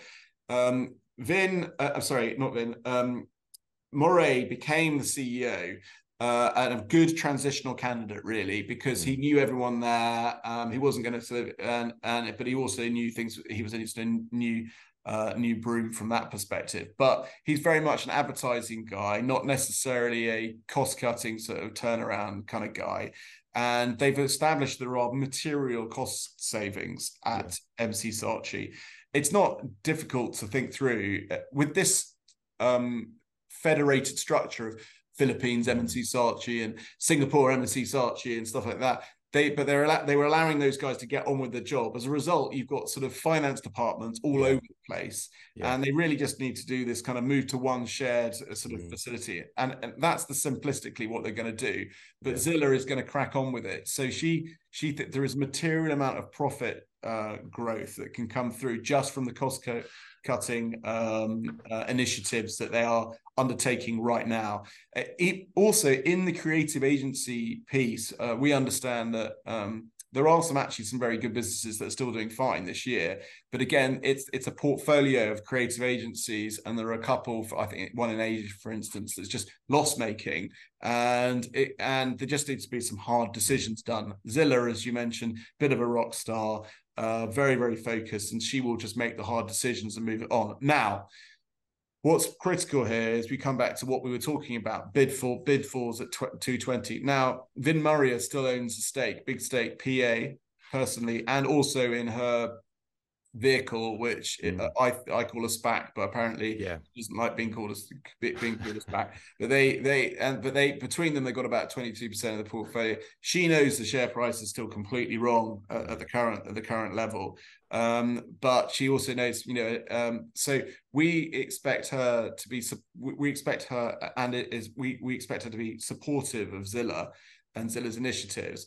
However, we suspect if Zillah can't deliver for shareholders over the next a much shorter time horizon than normal now, I mean, it's within our yeah uh, Rockwood horizon of when we first bought the shares, but now we're into the last. In the next eighteen months, if Zillah can't um, deliver um, much much more improved um, margins, sort out the portfolio, get this all sort of pulled together, get the stock re-rated quite rightly as it, it, should do, then we think you know the game the game is the game will be afoot again, and we suspect it won't just be sleepy at M&C Saatchi. So we are we've been buying more all this year, um, and you know, and it's and, and actually delighted to be able to pay the yeah. one pound twenty five for M&C Saatchi shares. It's literally it's on again. It's on an EV EBITDA about four and a half times. Yeah, it is. Yeah, yeah. And, and just to go back to what we were saying, it was the same with one of the, you know, what is EBITDA? You know, what's the point? The point is, is that cash profits. Yeah, it's cash profits. It's how private equity think about it. It's how private owners think about businesses. But the EBITDA bit is the is you know is the cash before the other bits. Yeah. But again, net cash, interest income, tax losses, quite a lot of them, yeah. uh, and then the depreciation uh, and stuff is the um, is you know linked to capital expenditure. Well, we as we as as we all know, you know the only capital expenditure in advertising business, for I can see, is like how many martinis they have at the end of the day. you know, so I'm not sure. I was an accountant, you know how to capitalize that. exactly. I've tried. I've tried it. Yeah. no, I haven't. Um, no, I mean, I would I would point to um, investors that uh, if somebody like Zillah has decided to become the chairman, you can guarantee she just doesn't want to be doing this just for cost cutting. she's got a big plan there to really, you know, to create significant shareholder value as she did at Future. So yeah, I think you've done brilliantly, or somebody's done brilliantly to attract her to uh, it, C. Saatchi. It's a very, it should be reminded, although it's quite big for small cap, so well over 200 million of, of sales in in their, across their activities in the in the big world of advertising, it's still seen as quite a medium yeah. size, even not even medium, like high end small size agency, which yeah. is also interesting in a kind of global context. The, just the final thing, it has not been helpful to have yeah. Martin Sorrell's uh yeah exactly in S4 and so yeah. people are kind of read crossing the rating a bit yeah. to other advertising agencies and I think that's a um I think people very careful about doing that about what's going They're on. They're two totally different businesses, no yeah. doubt about it. Now, just finally on the media side, B two B, Centaur Media, as you briefly mentioned, Swag Mukerjee, he's the CEO there, been there a few times, as like for some years in a turnaround. They've they've they've hit the nail on the head with the terms of meeting their margins, but um, I guess because of the digital advertising market's been a bit soft this year, it's sort of taken some out some of the juice off the top line. Well, I just just um, just state up front, we, you know we're very large. Oh, of course, yeah. Yes, yeah, we're very large shareholders in in uh, at Harwood in Centaur Media. In fact, across Harwood funds, including Rockwood, we own twenty nine point nine percent of the uh, of the company. Uh, we literally cannot own uh, any more shares. Um, and secondly, I'm a, a non-executive director of, of, of Centaur Media, so I just need to be very careful about about how yeah. I talk about the company um, the where are where are we? Well, Centaur, you know, it had seven divisions. Uh, it's now had just two for for a little bit, for a bit. And with those two under Swag and the team uh, there, they have improved the profitability, you know, very markedly. Literally, margins were five percent three yeah. years ago, and market forecasts for this year are for them to be at 23% yeah. margins, having done just over 20% margins. Last, EBITDA margins. EBITDA yeah. margins, yeah, 20% EBITDA margins. Which last. is what he's flagged for some time. That was his sort of like his target to get to a steady state, wasn't it? Yeah, he has. He has. So, so it, um, if the company achieves its targets for this year, um, the mat it's called management action plan 23 will have been you know completed and they're very much focused on on delivering that uh, following that completion, you've then got, you know, investors, I'm sure, are all thinking, well, that, you know, what next? And and the reality is they're in, you know, and they're in a good position because they've still got we we we we were very active to um, sort of promote that they should give special dividends to mm. investors uh, a year uh, earlier this year and and the company did do, did do that uh, but despite that with all the cash generation they're still i think again market expectations are for the company to have 10 11 million pounds of cash yeah. by the by the end of this yeah. year um, so so it's a, it's got a lot of it's going to have a lot of cash which has got means it's got a lot of options to think about what the best thing is for shareholders with that and then it's got these two um, businesses um, which are now making much more, um, I would say, uh, impressive, normal, or kind of best, even potentially sort of almost best in class levels of mm. profit, profit margins. Um, so we then move to maybe you can move the pro- profit margins maybe a bit higher, or maybe you can't. And the trick, trick is to just try and keep them where they are. So it's it's about growth uh, and growing both both divisions. Now, the lawyer is obviously just an iconic brand, uh, mm. and they've been for lawyers, for lawyers, for lawyers, yeah. But you know, yeah, yeah. But you've got to. You, I mean, if you, I, again, if you can find a lawyer that doesn't read it, you yeah. t- tell me, Paul, but don't employ him if he doesn't read it because yeah. he, he, clearly, or he or she, because yeah. you do need to read the lawyer if you're a lawyer, and it's all subscription. It's highly profitable. They've been developing quite clever, um, sort of offshoots of it with sort of more specialized advice or information which they then can charge a bit more for. They have a lawyer awards which is where every you know if you want to that's the one you want to get if you want to make partner yeah. that kind of thing. Um so so um uh, they do that as well. Um and it and it has and it has been um, steadily steadily growing. There are a little bit of cyclical elements in there, as you would imagine. So we need to be we all need to be conscious of that. But but, um, but essentially, um, they've consistently been able to sort of incrementally grow that grow that quite niche business that niche uh, brand. If we go to the marketing division, this is um, it took me some time, and it to, to really understand what was going on in this division. And, and it is quite difficult to communicate it, I, I, I think, or at least I find it slightly difficult to communicate. But in essence, it's it's media services to marketing people. So uh so think the chief marketing officer you know where at unilever or wherever. Uh, they've basically got a number of things to try and uh help him. Now that's a mix of events. So they have probably the industry leading event called Festival of Marketing, where all the CMOs will hang, mm. you know, uh, hang uh, turn up to, and they're, you know, the the would be CMOs, the um, the deputies will want to go to, and they own Marketing Week, which tells yeah. all the CMOs what's going on in the industry, and and they also have this business called e-consultancy which which actually helps cmos improve their departments learn the latest tricks do better at digital uh, digital marketing but what they also have which has been really very important during this yeah. map 23 period. Is this thing called mini mba yeah. And this marketing is little, mba isn't it? Yeah it's a little diamond hiding yeah. hiding in sense it was not really hiding but it's it's mm. quite it's a very important business within that division. And that has been growing steadily. It's an online course where you get an accredited degree an mba sorry in marketing. It's run by a very very charismatic guy called john ritson uh, mark ritson sorry mark ritson who's kind of extremely well known in the marketing world and um, you you chart it's chart it's cost a few grand. And people like unilever for instance yeah. go like well 20 of you everyone in the department has to do it if they haven't done it already. Equally um, you know you or me if we're in the market department go right and we, we're not being paid for we might go well i might get a better job if i do that or get promoted or whatever so i might even pay for it my, myself um, to to get that mba and that's been growing very fast but it's also very high drop through margin as you can imagine yeah. because it's just you know it's the same so one's a medi model isn't it yeah one of yeah yeah so that we think they created a lot of value with that and that mm. could the potential there is true could be enormous. Could be enormous. Yeah, yeah. I mean, it's not that their, their, their target market could be much bigger than where they are. Equally, there are all kinds of sort of offshoots or other things that you could do around the brand and all the rest of it that, that could be um, could be developed over time. That takes effort, capital, uh, application, sales, all this sort of stuff. So they've done a great job with that so far. But I, I would say that's a real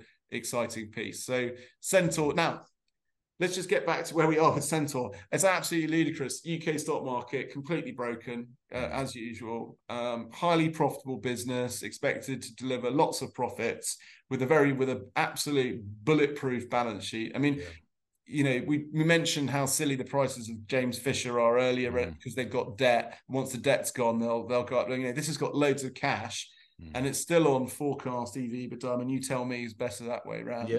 Yeah, it's about eight times basically. No, no, wrong, completely wrong. Oh, Your numbers are wrong. Is It's because it's it's forecast to do it 10 million of EBITDA this year. yeah, it is And- totally wrong. You're right. Sorry, it is. Yeah, absolutely. It's about four point seven. Yes, that's where we're. That's Yeah. Okay. yeah. Sorry. Yeah. That, Yes. That's a. I've got a calculation error in my model. yeah. So this, so don't, spotted. no, don't worry, don't worry. Uh, um, so so four point seven times on on that, yeah, on the right number Yeah. um, with cash. And Yeah. remember, we, you know, we go back to. I'm standing like a broken record now, but the eh is income. Uh, Yeah. They've got some tax losses. There's there- there's not. It's not highly capital intensive. Mm. I mean, if you think about it, you know, it's the kind of business again. You know, if you just, you know, you and I, if we if we just club together and got all our mates and we just like, you know, it you you in in a, in not in not very many years, all the money that you borrowed to own Centaur Media would you know you could pay back, and then you'd own the lawyer for the rest of our lives, and Yeah, we'd just you yeah. know be, be drinking martinis with the M&C Saatchi guys. Yeah. You know the, now. That's just a way of thinking about all stocks. So it's like, mm. how many years of cash flow would it take me to buy back this whole business if I owned it? And MC and and MC Saatchi's one. It wouldn't take very long with MC Saatchi. It wouldn't take very long with with Centaur and a number of the other Rockwood Rockwood holdings. They're just. The stock market isn't choosing to value them like external parties are. Yeah. Now, on that note, I mean, it's like you keep asking me about stocks, but I just want to mention, I want do want to mention, um, you know, we've had some fantastic takeovers um, Yeah. in the last few Fin- weeks. Finsbury Food and City Pub Group last week. Yeah, City Pub Group last week, 67% premium to three month average. Really Hmm. pleased with that. We've nailed a really good IRR on that. Finsbury Food was a, we are a bit disappointed with the premium, 22% premium, but we've actually made uh, nearly 40% IRR on our investment in, in that. We also had uh, wonderfully, uh, one of the other opportunity stocks uh, was uh, on the market.com Oh yeah. uh, massive premium um, to um, to to the market um, price and the three month three month average nearly nearly 100% premium to three month average Well done. on the market um, and we also um, were saved um, uh, not through With Serafine. no no that was last year's savior this Okay. year's savior was Smoove Oh, Smoove Smoove. Yeah. Okay. uh, which we managed to, in the end, generate a small return for Yeah. um, for Rockwood shareholders, but having again had to roll up our sleeves a bit to get Mm. that um, get that um, resolved, should we say, is the best way. But delighted that that came in again. The big came in at seven percent premium to the price earlier early earlier this year. So um, we actually. Um, We've got this weird thing. It's weird. I'm super excited, as I said at the start of this call, about like um, the um, um, returns that can be made from Mhm. here in UK small cap and returns in Rockwood. Um, I'm actually down to less than 1% cash this morning in Wow. Because I've now got 27% of the portfolio under a takeover offer. So, Well, you so should have a lot of cash January, February next Yes. year. so yeah, so by mid-January next year, um, we just want we ideally we'd like the market just to remain still a bit cautious until Yeah. middle of January. But uh, we will be uh, there's so much still on offer out there. It's a buyer's market, so we'll be we won't be sitting on loads of cash for long. I can tell you that. Yeah. Well, you should get yourself a, a bridging loan then until that cash comes in and you can start deploying it earlier. Just a guess. Funny, funny you should say that. Okay. Sorry. now um, you've got you, you obviously they've gone through some stocks which are doing a lot of self-help and hopefully not too much lifting heavy lifting from you guys but you have got one in there Ho- hostmore which was a spin out originally from private equity about two years ago really sort of fell off the uh, the wheels fell off the bus. It does tgi fridays as a franchisee in the uk and i used to love the name TGI Fridays, you know, cocktails and all the gimmick they used to throw cocktails around the place and all this was fantastic atmosphere. But now the reality is that it's a, it's a pretty competitive area, this casual dining. What sort of attracted you to uh, to TGI Fridays, basically in the UK? I think um, maybe unsurprisingly, it was the ludicrous valuation that's been placed on the brand.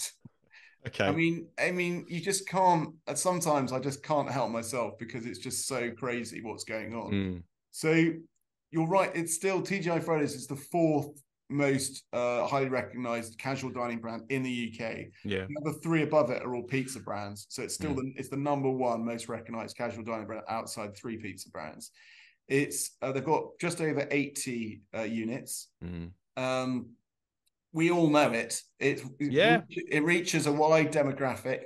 A lot of people still go there for um, after work drinks, you know, something not too expensive, but it's Doreen's birthday. So mm. let's get down there and celebrate. Or, you know, Peter's retiring. Let's just go, let's go and have a few cocktails.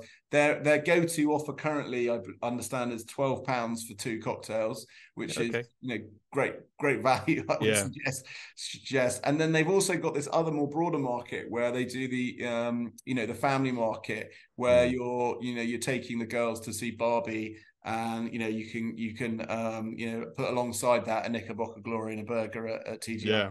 at TGI Fridays. It's historically always been profitable. The the backdrop's been very tricky, as you might imagine. Mm. Um, so the backdrop's and remains tricky for those kind of businesses. Um, and as a result, backdrop tricky, um, and um, the stock market's just not interested. They're also partly not interested because no one's really heard of them. Because, as you quite rightly said, it was a demerger out of the Electra Investment Trust.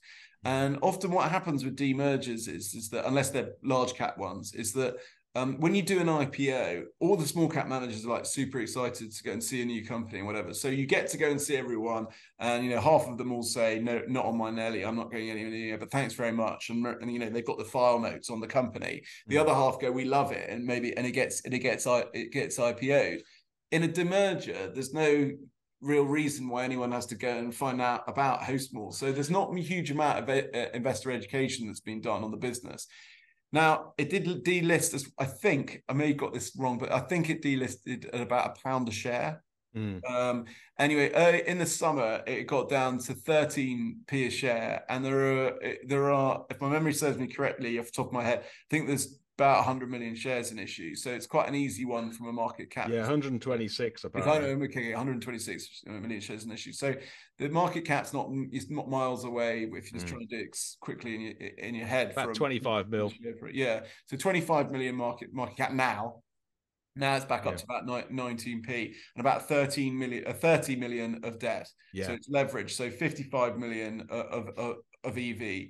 Now the the the what's happened is the it's called Hostmore because the former management team were plan was to use the prolific cash flows from the quite mature TGI's brand, mm. quite mature but not fully mature brand, only 80 uh, restaurants, and use that cash to host more. I they were they were like banging around trying to find you know mini Wagamamas to buy and yeah, other okay. of, uh, groups and to create a restaurant group. Kel Surprise, the first management team that's you know love the idea of be giving a checkbook to go and buy lots of businesses. Yeah, yeah, yeah. And and it turns out that actually um, that probably was not the time of 2023 was probably not the year to be um, focusing on kind of expanding the group, but possibly just on getting the knit getting the knitting right yeah, uh, yeah. with the actual store estate.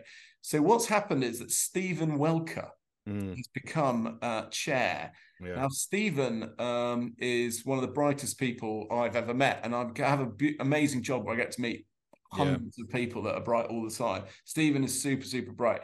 He was basically he he was the number two to a chap called Ed Bramson at Sherborne. Sherborne mm. Investing. Yeah, I remember. Yeah, who who are kind of a US activist guys who play Private equity guys, yeah, yeah, and they play in the UK. Mm. They turned around and got F&C uh, asset management sold. Mm. They turned around Spirent two times yeah. ago. I think someone needs to do that again now. But like they they, yeah, they did turn it around and got it sold, made a load of money. Uh, and then they fell foul of two or three other things they did extremely well. Um, they did, but they did fall foul of an attempt to have a go at Barclays. Mm where they called out Jes Staley amongst other people, and but the great and the good told told Ed to sort of you know stop fiddling around in our in our mainstream banks. So he didn't win that one, but although he may yeah. may have been right actually. But they they they so he, uh, Stephen was his number two, mm. very bright guy. He's now exec chair, and he and some kind of like his kind of kind of associates have, have taken a quite a big stake and quite quite a, quite a lot of the stock. Um, he's got stuck in and uh, we've had a CEO change, new CEO, new finance director. Mm. And they, he's also done two things. He's gone uh, gone to the Americans and asked them if we could have a pause on new openings. It's a franchise. They own the UK brand. And under the franchise arrangements, you have yeah, to open okay. a certain number. But yeah. a new TGIs is about nearly, you know, it's between one and a half and two million quid. You don't get your money back for some, for some time. So when things are tough, you don't really want to be opening two million pound sites with a view of making some mm. making two million pound back over, you know, three years or whatever it is. So he they've agreed to allow him to pause that. Number one. He also went to the banks and asked them to just sort of just give him some breathing space, which they've agreed to. He's re-engaged with the banks actually right now, so we'll see how where that la- mm. Where that lands. But what they've been absolutely um, categoric about is that they believe that the business should at least be able to get itself to a 10 million pounds of free cash flow a year. Yeah. And they've also been categoric that that money will all then be available for shareholders. Yeah. So even although we've made a decent return already now in this um, at 25 million market cap. Once the debt has been paid down to a normalized level or it's a sustainable level, which I would suggest is somewhere between zero and 10, yeah. um, we'll get back 10 million pounds a year in free cash flow. Yeah. And I don't know what free cash flow yield you want to put on 10 million. Yeah, well, I was just I was just working it out as a like if you've got even if you before you've paid the debt back, it's sort of like you know if you do 10 million on 55, I mean it's it's you 15 20 percent as of today is your cash yeah. flow yield as if as long as they can do 10 million. Exactly. So if they can do 10, that's if they yeah. can do 10 they can get it sort of we we could look. I think I you know we could be looking at a four or five bagger from here still. And and that's not, you know, the, the business has got over 200 million of sales. Yeah. Uh, well-known brand. It's got, you know, it's you know, so this is not this is not trying to reinvent the wheel, really. Yeah. So he's got to create a vibe, but I think he needs to, as in like you know, they need to get a local communities involved and wanting to go, and it becomes a, a sort of like a must-have destination. I think. Yes, well, they, they, absolutely, and the new um, CEO um, is very much an operator yeah. who's kind of really is a lady, and she's very much got stuck in. They're doing one thing I quite like is that I think it's quite fun is they they've realised they've spun it around. You know, ex- experiential things are really kind of a big yeah. big theme for quite a lot of investors. So they've they've caught onto that. So they're doing like cocktail making master classes mm. for not very much money. And you can go with your mates and you spend a little bit more money to do cocktail master masterclass, but then you're all, you know, making that yeah, yeah, yeah. the rest of the evening. So that's a sort of simple type thing they weren't doing before that they really, they really, they really should be doing. So um yeah, so that's like we um it's just finishing on Hostmore. I mean, finishing on on talking about Hostmore it's the most risky position in the portfolio. Yeah, okay. Without a shadow of a doubt. Not that it's super, super risky, but in terms of risk reward, where we gauge the whole portfolio, yeah. it's the one that's got the most risk. But we think the likelihood that it, or the chance that it has to four, five bag mm. uh, relative to that risk we we invested two percent of Rockwood into it. Yeah, okay. Um, if we're successful, we literally will still own it when it's eight percent of the portfolio and gone yeah, okay. up four or five times. So, yeah. Well, if it's if they get the mojo back and introduce that trademark uh, cocktail juggling, which they used to do back in the eighties, then they'll bring uh, they bring the crowds back in. Um, now, just turn into some industrials. Filtronic. Now, this is one which has sort of like been around for ages. And um, it seems to have won some pretty amazing deals of late, actually, low Earth orbit sort of contracts, defense contracts, and also with the European Space Agency. It does sort of like, I think it's telecommunication type um, products and stuff. Do you want to take us through this one? Because it's certainly something that I looked at years ago, but I've really sort of like, I haven't, I haven't really run the slider all over of late. Yeah. Okay. Absolutely love to, actually. And um, you're right it, it, feels like Rockwood today. It's a little bit like um, it's like sort of antiques roadshow, isn't it? I mean, St James, James Fisher, 175 years old. Ho, ho, TGI Fridays from the nine from the from the 1980s. Precious yeah. Chesterfield Cylinders is over 100. 100 yeah, years yeah. Galliford's been around since the 1800s. Yeah, I mean, it's like Scottish TV's been around. So there is you might.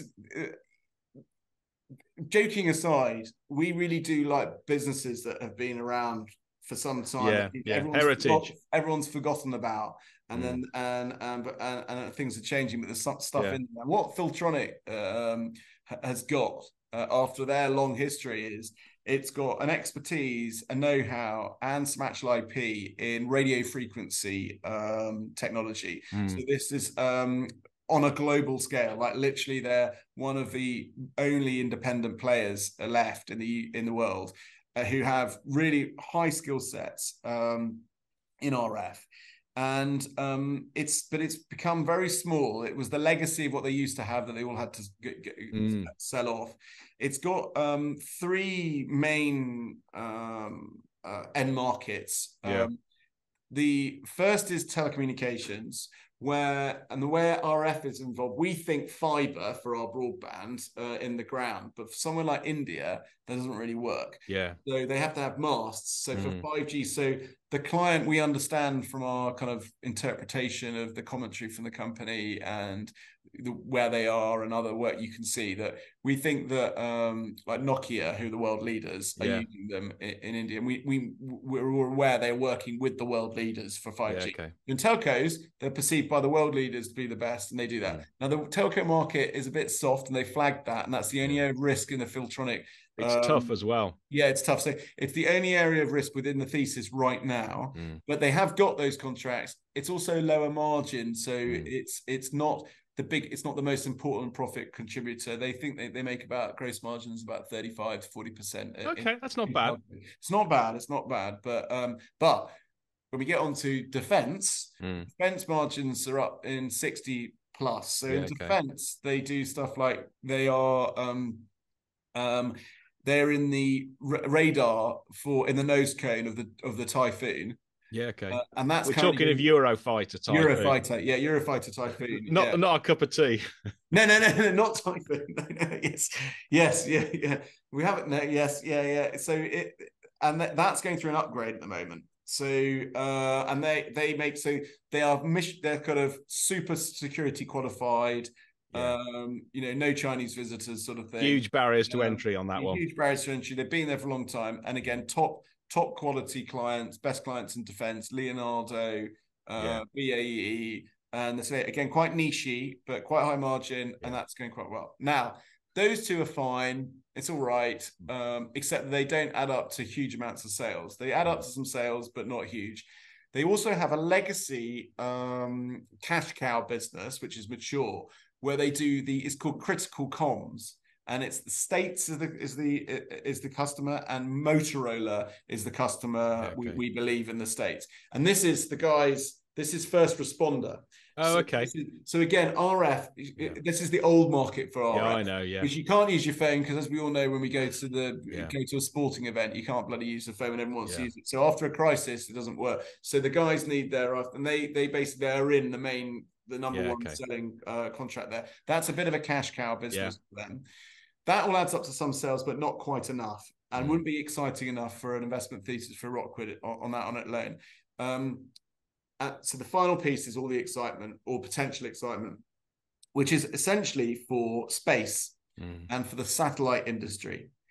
And and what's happened is Elon Musk has essentially yeah. changed the economics of space. Mm. Simple as that.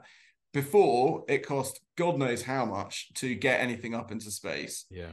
But his re-entry rocket uh, systems at SpaceX are basically changing the economics of, of space, and as a result, you can um, do a lot more launches. And they it's developing up this what's called low Earth orbiting yeah. satellite. Starlink. Starlink is the Musk owned one. Uh, yeah. We call them Le- we'll call it Leo from now on to keep it simple. Yeah, yeah. Okay. Low Earth orbiting. So Leo. So yeah. and so the G. If you think of if you if you say you're at space and you look at the Earth like this, the GPS system. The, the, the, the they're off the off the you can't see yeah. the picture now, which is I've done that on purpose. They're out here for the GPS. Starlink is like around the Earth, like like this, yeah. much lower Earth orbit, and and as a result, thousands of them in his constellation. Mm. But he doesn't have a monopoly on doing these constellations, yeah. and there's a range of other people that want to put these up. Mm. And what it's allowing is obviously is very fast uh, internet access direct to satellite. What they are finding though is is that the de- demands and the data demands are pretty uh, are even more significant than they hmm. expected. Mm which means you have to go up the wavelength. Uh, we Yeah, go okay. back to physics GCSE here. Yeah. And guess who are the experts as you get higher up the wavelength Yeah. uh, of stuff? Yes, it's Filtronic. Yeah. So uh, Filtronic have stated they're working with a leading US player in the low Earth orbiting Okay. satellite uh, industry, uh, but without ever quoting the name of the customer. Yeah. Okay. Um, they have also, and but what we what we can tell from the announcements they've made is is that earlier this year they, I think it was yeah earlier this year they um, won a contract to develop um, a solution for twenty ground stations. Mm. Um, now it's we would kind of due diligence in this, and we we found out that like the um one of the major constellations uh, that's uh, that's up already has got 40 ground stations Yeah. um and um but and has but has a, a a kind of culture where they like to see if they can do things in house as well Mm. so we we believe that like half the ground stations were given to an in-house team and half were given to an external to give it to Filtronic to try and develop. And it does appear that after that that process has gone on, that Filtronic's solution is sort of um, delivering what the client wants. Mm.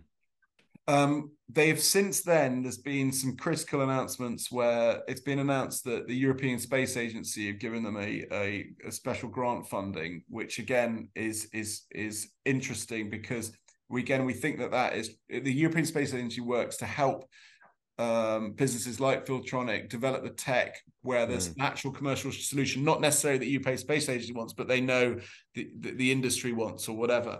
So we think Filtronic is in a phase of growing serious strategic value in the satellite industry. We also think that the sales that you could generate, they could potentially generate if they've got their their kind of amplifiers or their tra- or or other uh, pieces of, of kit that they they build in in both what they what they all refer to as the payload, which I get really annoyed about because that that just means the satellite. I Yeah. just why can't you say satellite rather than Yeah. the payload? There you go. If we get into the payload, yeah. But anyway, so the payload, there's could be many, many, many, many satellites, thousands and Mm. thousands and thousands of satellites. This this is the kind of so what you've got is is you've got a company that's got ex- very strong positioning IP globally that where a brand new market is just opening up Mm. and it looks like they, they might be in perfect position to give solutions to enable that industry to, to, to do. Now, there are lots of players in the satellite industry. Yeah. There also could be potentially quite a lot of sales, which comes back to Filtronic, which ostensibly looks po- quite high multiple at the moment. Mm. But you only need a few million quid of like, Yeah. um, you know, decent margin stuff into the into the uh, space industry, and you get that full public listed and overhead kind of recovery operational gearing point. So Mm. basically, they're making just about enough money from the, the critical comms, defense, and telco, all of which look reasonable apart from the telco at the moment in terms of how those industries are performing. But that should that allows to produce a bit of EBITDA, you know, one and a half, two million a year kind of thing. But if if Leo starts to go go go big for them, you could add on quite a lot of sales, and that's all going to drop to the bottom line, or a huge amount of it would drop to the bottom line, and EBITDA would go exponential, and the value of the business would would would would Mm. would, would um would would change would change. How much how much recurring revenue do they have? Because that was always their Achilles heel, basically. They got large, lumpy contracts 10, 15 years ago, and it was always difficult to get recurring services off the back of it. Yeah, the um, I don't know the answer to that question actually off the top of my head. What I do know is that I see that the critical infrastructure stuff is kind of like it's like on maintenance schedules, and there's an Yeah. amount every year. So that's pretty stable uh, activity. Mm. Defense, uh, defense has been a, a bit lumpy, but again, they're on some big long-term contracts. The Mm. Typhoon one is like huge because of like the number of planes that are Yeah. uh, d- uh, deployed. And then I think telcos has been more definitely been a bit more lumpy. Yeah. But I don't think the thing is, I'm as an investor, I'm relatively relaxed with them kind of um, I've sort of almost mentally I don't think the shares are going to really move around depending on that from from from kind of here on in, Mhm. depending on exactly how those other businesses are performing. As long as they're not going, you know, down the toilet, as long as they're just sort of Yeah. okay, or they, they can be a bit lumpy. It's Mhm. really about what's happening with Leo. And that's what should drive the share price. And we hopefully there'll be lots of news flow in the next 12 to 15 months uh, from Yeah. the company. I would agree. No, it's exciting one. That one. I never really appreciated the space angle, which uh, that I mean, that low. Yeah, no, net I mean, cash. Oh, they got of, I think they got 17 million of tax losses still. Yeah, net cash. Yeah. Uh, they're up in Sedgefield, Tony Blair's constituency. Oh, okay, right. I might um, take a visit then. Yeah. Is it? And I, I, think what's it's worth going up to see them. I, I'd add it's we're aware on the business part where they are. There's another small cap called Kromek, which is on the on. on oh yeah, yeah. Um, which we're not invested in, and but also there's um, uh, we understand Lockheed. Oh, okay, right. Looking to um, set themselves up on that uh, on, on, the business part. Okay, well, you never know. You get, Lockheed, get... Lockheed, have a range of interests yeah. in in defense and space and things yeah. like that. So we can't. Um, we um, and I think they need to, under various rules, Lockheed need to have a bit more exposure uh, or, or activities in the yeah. UK in order to win work from the okay. UK. All right, fine. Okay, well, we'll just go for the one last one, which I know he's got the hallmarks of uh, Rockwood. He's uh, Restore which basically has been through a few wobbles of recently. It does uh, physical storage and archiving of documents, which was their bread and butter business, high margins. And then they sort of like digressed into digital, I think, which is basically PDF documentation and storing it in a big sort of like on a server, which is sort of like the wheels have come off a bit on that one. Do you take us through this one? Because as I say, it looks a solid business and probably a bit of a turnaround. Uh, magic wand is required. Yeah, sure. Okay, so restore. Um, I mean, this is. I'm very excited. I, well, it sounds like I'm excited about everything, but I am genuinely excited. I'm very excited. We've only just started buying it. We bought it. We started buying it one. Th- can't believe it got down to one pound thirty-five. We started yeah, at one pound yeah. thirty-five. It's two quid a share. So immediately, all your listeners are going to say, "Oh, I've missed that one," but you you, ha- you haven't missed it. and the reason why you haven't missed it is is that they um the business was run. It, it's it just out of it. It's also an AIM IHT. Stock, yeah, okay. Just worth worth be, being aware of that. Uh, so Charles Skinner, who's one of the most intuitive business people I've met, mm. um, just just courses through his veins.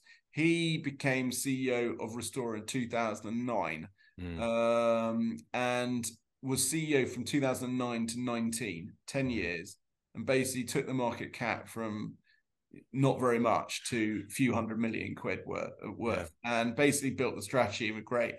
And but he's not a because he's an intuitive businessman. He doesn't really like faff nonsense committees, um, all that sort of thing. He's into well, he's the perfect guy for Rockwood then. Exactly. Yes. Exactly. Yeah. He's he's he's basically empower. He's he's he's into empowering people and making money for people for people, yeah. which is what he what he did he he left the business in 2019. I, I, probably don't want to be drawn into why or wherefores, but it's fair to say that the board had evolved a bit mm. uh, going into um, into the latter stages of his tenure, and we're starting to ask him to do all sorts of things that um, you know in relation to the business that he probably wasn't that keen on doing. Um, so he decided to to leave.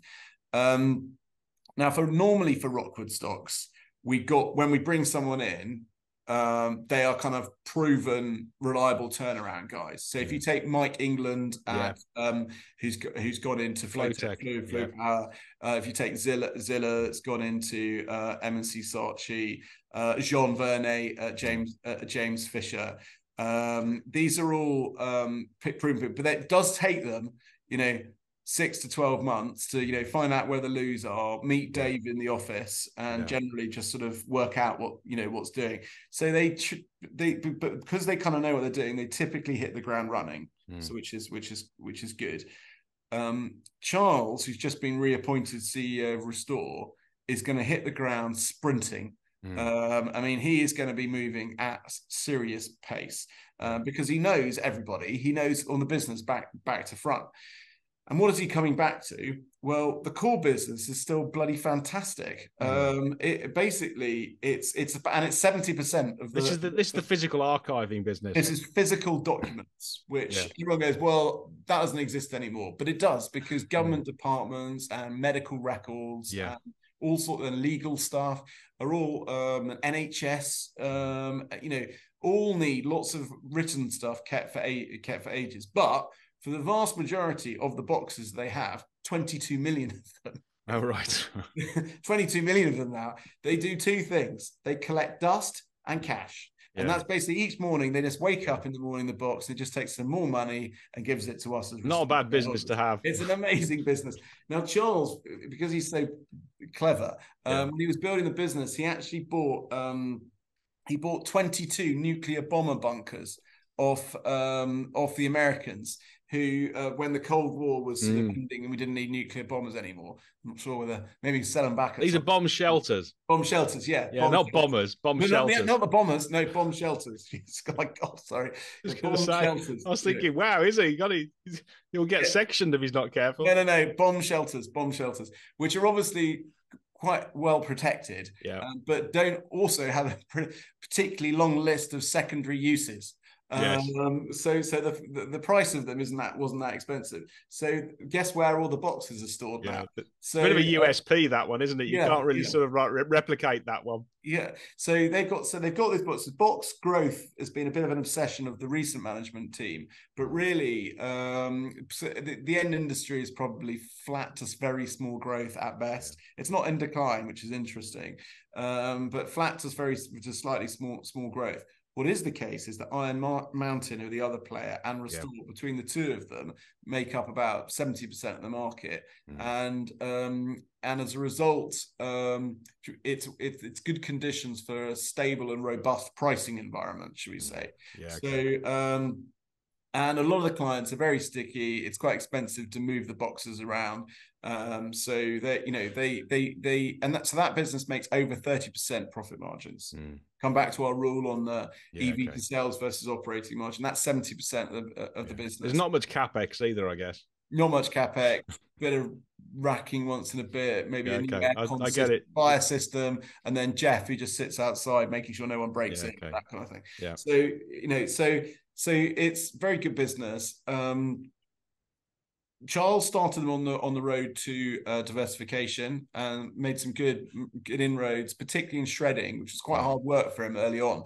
Because Yeah. in shredding, you need um you need like any kind of transport business, you need Yeah. enough at scale to have route Mm. density so that you make the right profits. But they've actually got that now. And then the number two in the UK, Shred-it is number one. But again, quite consolidated market, but a good business feeds in nicely with um with the boxes. So you know, Mm. and what really happens is Harrow Green, which is their other division, which was the founding division, which was um, is an office removal, office relocation business. It um, you obviously move your offices for whatever reason. More recently, maybe because you're thinking we don't need as much office space. But Mhm. then that move creates a requirement because you go, oh no, look what's in the bloody cupboard, or look Yeah. at the end of my desk. What should we do with all of this? And then they basically need a solution. And then they may go, oh, can we shred uh, shred some of them, send some of them off for long term storage because we legally have to, because we have to keep the records for a certain number of years, that sort of thing. Some of them might go, well, can we scan those and digitally scan them? That might make a bit of sense. Um, and also at that point, you might go, when we move to the new offices, we'll get new computers. So we need to get rid of all our computers. And that's the technology uh, uh, service that they do, where they take away um, um, computers and you know Mhm. destroy the hard drives and all that sort of stuff. They've been winning. Because in those services pieces, they've become built a very strong track record, and they're winning amazing contracts. They won one the other day for HMRC Mm. For digitalizing the HMRC um, records. Um, they're, um, they, you know, and um, so it's sort of virtuous. But I think what was happening is, although there's obvious cross-selling synergies, it's actually quite difficult. You just want a little bit more of nudging at the sides and have people run the business. So that um, Charles, who's just come back in, has explained to everyone only last week that the plan is to have these MDs. He's changed two of them of his each Mm. each business, and it's kind of he's giving them their business key objectives and then allowing them to just crack on and uh, uh, and run it. He he told me he told me he when he left he, when he left Restore in 2019, there were six people at, at head office, Mm. And he returned and there were 56. Okay, so Um, there's a bit of cost saving you can do there. Yeah, yeah the balance sheet's solid, um, and now it's on uh, like six times, just over six times EBITDA, Yeah. uh, maybe 11 and a half times Now, remember the that's 11 and a half times a depressed level of profitability because they had a few kind of temporary um, issues which he'll which he'll iron out. Some which were slightly external, like the paper price uh, has come back and they sell they make money from the shredded paper that from which they yeah. sell, they sell on. The mill price has been low, not their fault, but so there's a bit of cyclicality to that. But um, restores average PE for the last eight, 15 years or longer. So it doesn't just include um, kind of QE related high multiples. Yeah. Is is not is 19 is 19 times. Yeah. Uh, and he thinks that um, he thinks uh, you know EPS growth can be could be quite material from here. Combination of pricing, mm. better run, less costs, more entrepreneurialism, and um, and it's pretty much as simple as simple as that. So you, you um, we you know we we think it um we think this could it, you know it was only four quid a share. I think it was. Have you got the share price there? No i haven't no but it was uh, literally I... only four quid a share like about yeah. a, year ago. Yeah. and now you've got charles running it. I mean you know so for those that go oh i missed it. It was 135 now it's two quid you know mm wrong, it's going to keep it's going to keep motoring, and it's a pretty low risk turnaround for uh, would suggest. Yeah, well, I mean, he, he's done it before, hasn't he? He knows all the levers to pull, and um, it it doesn't take a sort of like a you know rocket science. If you've got the right management team and the right business, and there's nothing fundamentally changed over the last four years, other than they went through they they did a couple of things they which which, which they're going to reverse, then uh, yeah, you should get back to where they were. I think what was most, I think what was one in the meeting he had with investors last week, one of the most encouraging things I think was that the previous team were running um, it during the, should we call it the heady days of growth. Yeah uh, where uh, not where a number of shareholders, should we say, were also encouraging all their companies that growth was the only thing that counted and they should mm. grow or whatever. And maybe boards were feeling the pressures for that. And should we say that at the end of last cycle, or for at least a few years at the end of last cycle, the hurdle for sensible acquisitions may have dropped at a few companies yeah, around okay. around the yeah. stock market. So the, the the long and short of it is, we think that the um, the uh, growth will start to come growth will start to come through and um uh, now but not from takeovers yeah so okay. he's organic going to, he's going to organic growth only yeah, yeah. Okay. Brilliant. Okay. Well, just a, last thing to pick your brains. What's sort of like the thing to investors should avoid doing given this backdrop? I mean, I'm guessing, given what we've just talked about, it's, it's to be too cautious. the danger is if you go small cap is be too cautious at the moment. But anything else that people should sort of like, you know, watch out for? Yeah, I, I think I think number one, and I've mentioned it already in this today, is is that if you're taking on a business with some leverage now, you need to be mm. that that's going to be the highest risk holdings for you. Yeah, Doesn't okay. mean you shouldn't, but you need to be really comfortable about how they're going to get paid. Have they got the wherewithal to pay that debt down from either their own cash generation or disposals?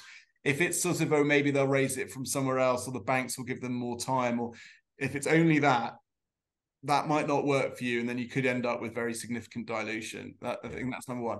I think number two, the biggest uh, other trap at the moment, or biggest other potential risk, is investors that are still slightly kind of um, harking back to some of the growth, uh, the multiples put on growth stocks in the last cycle.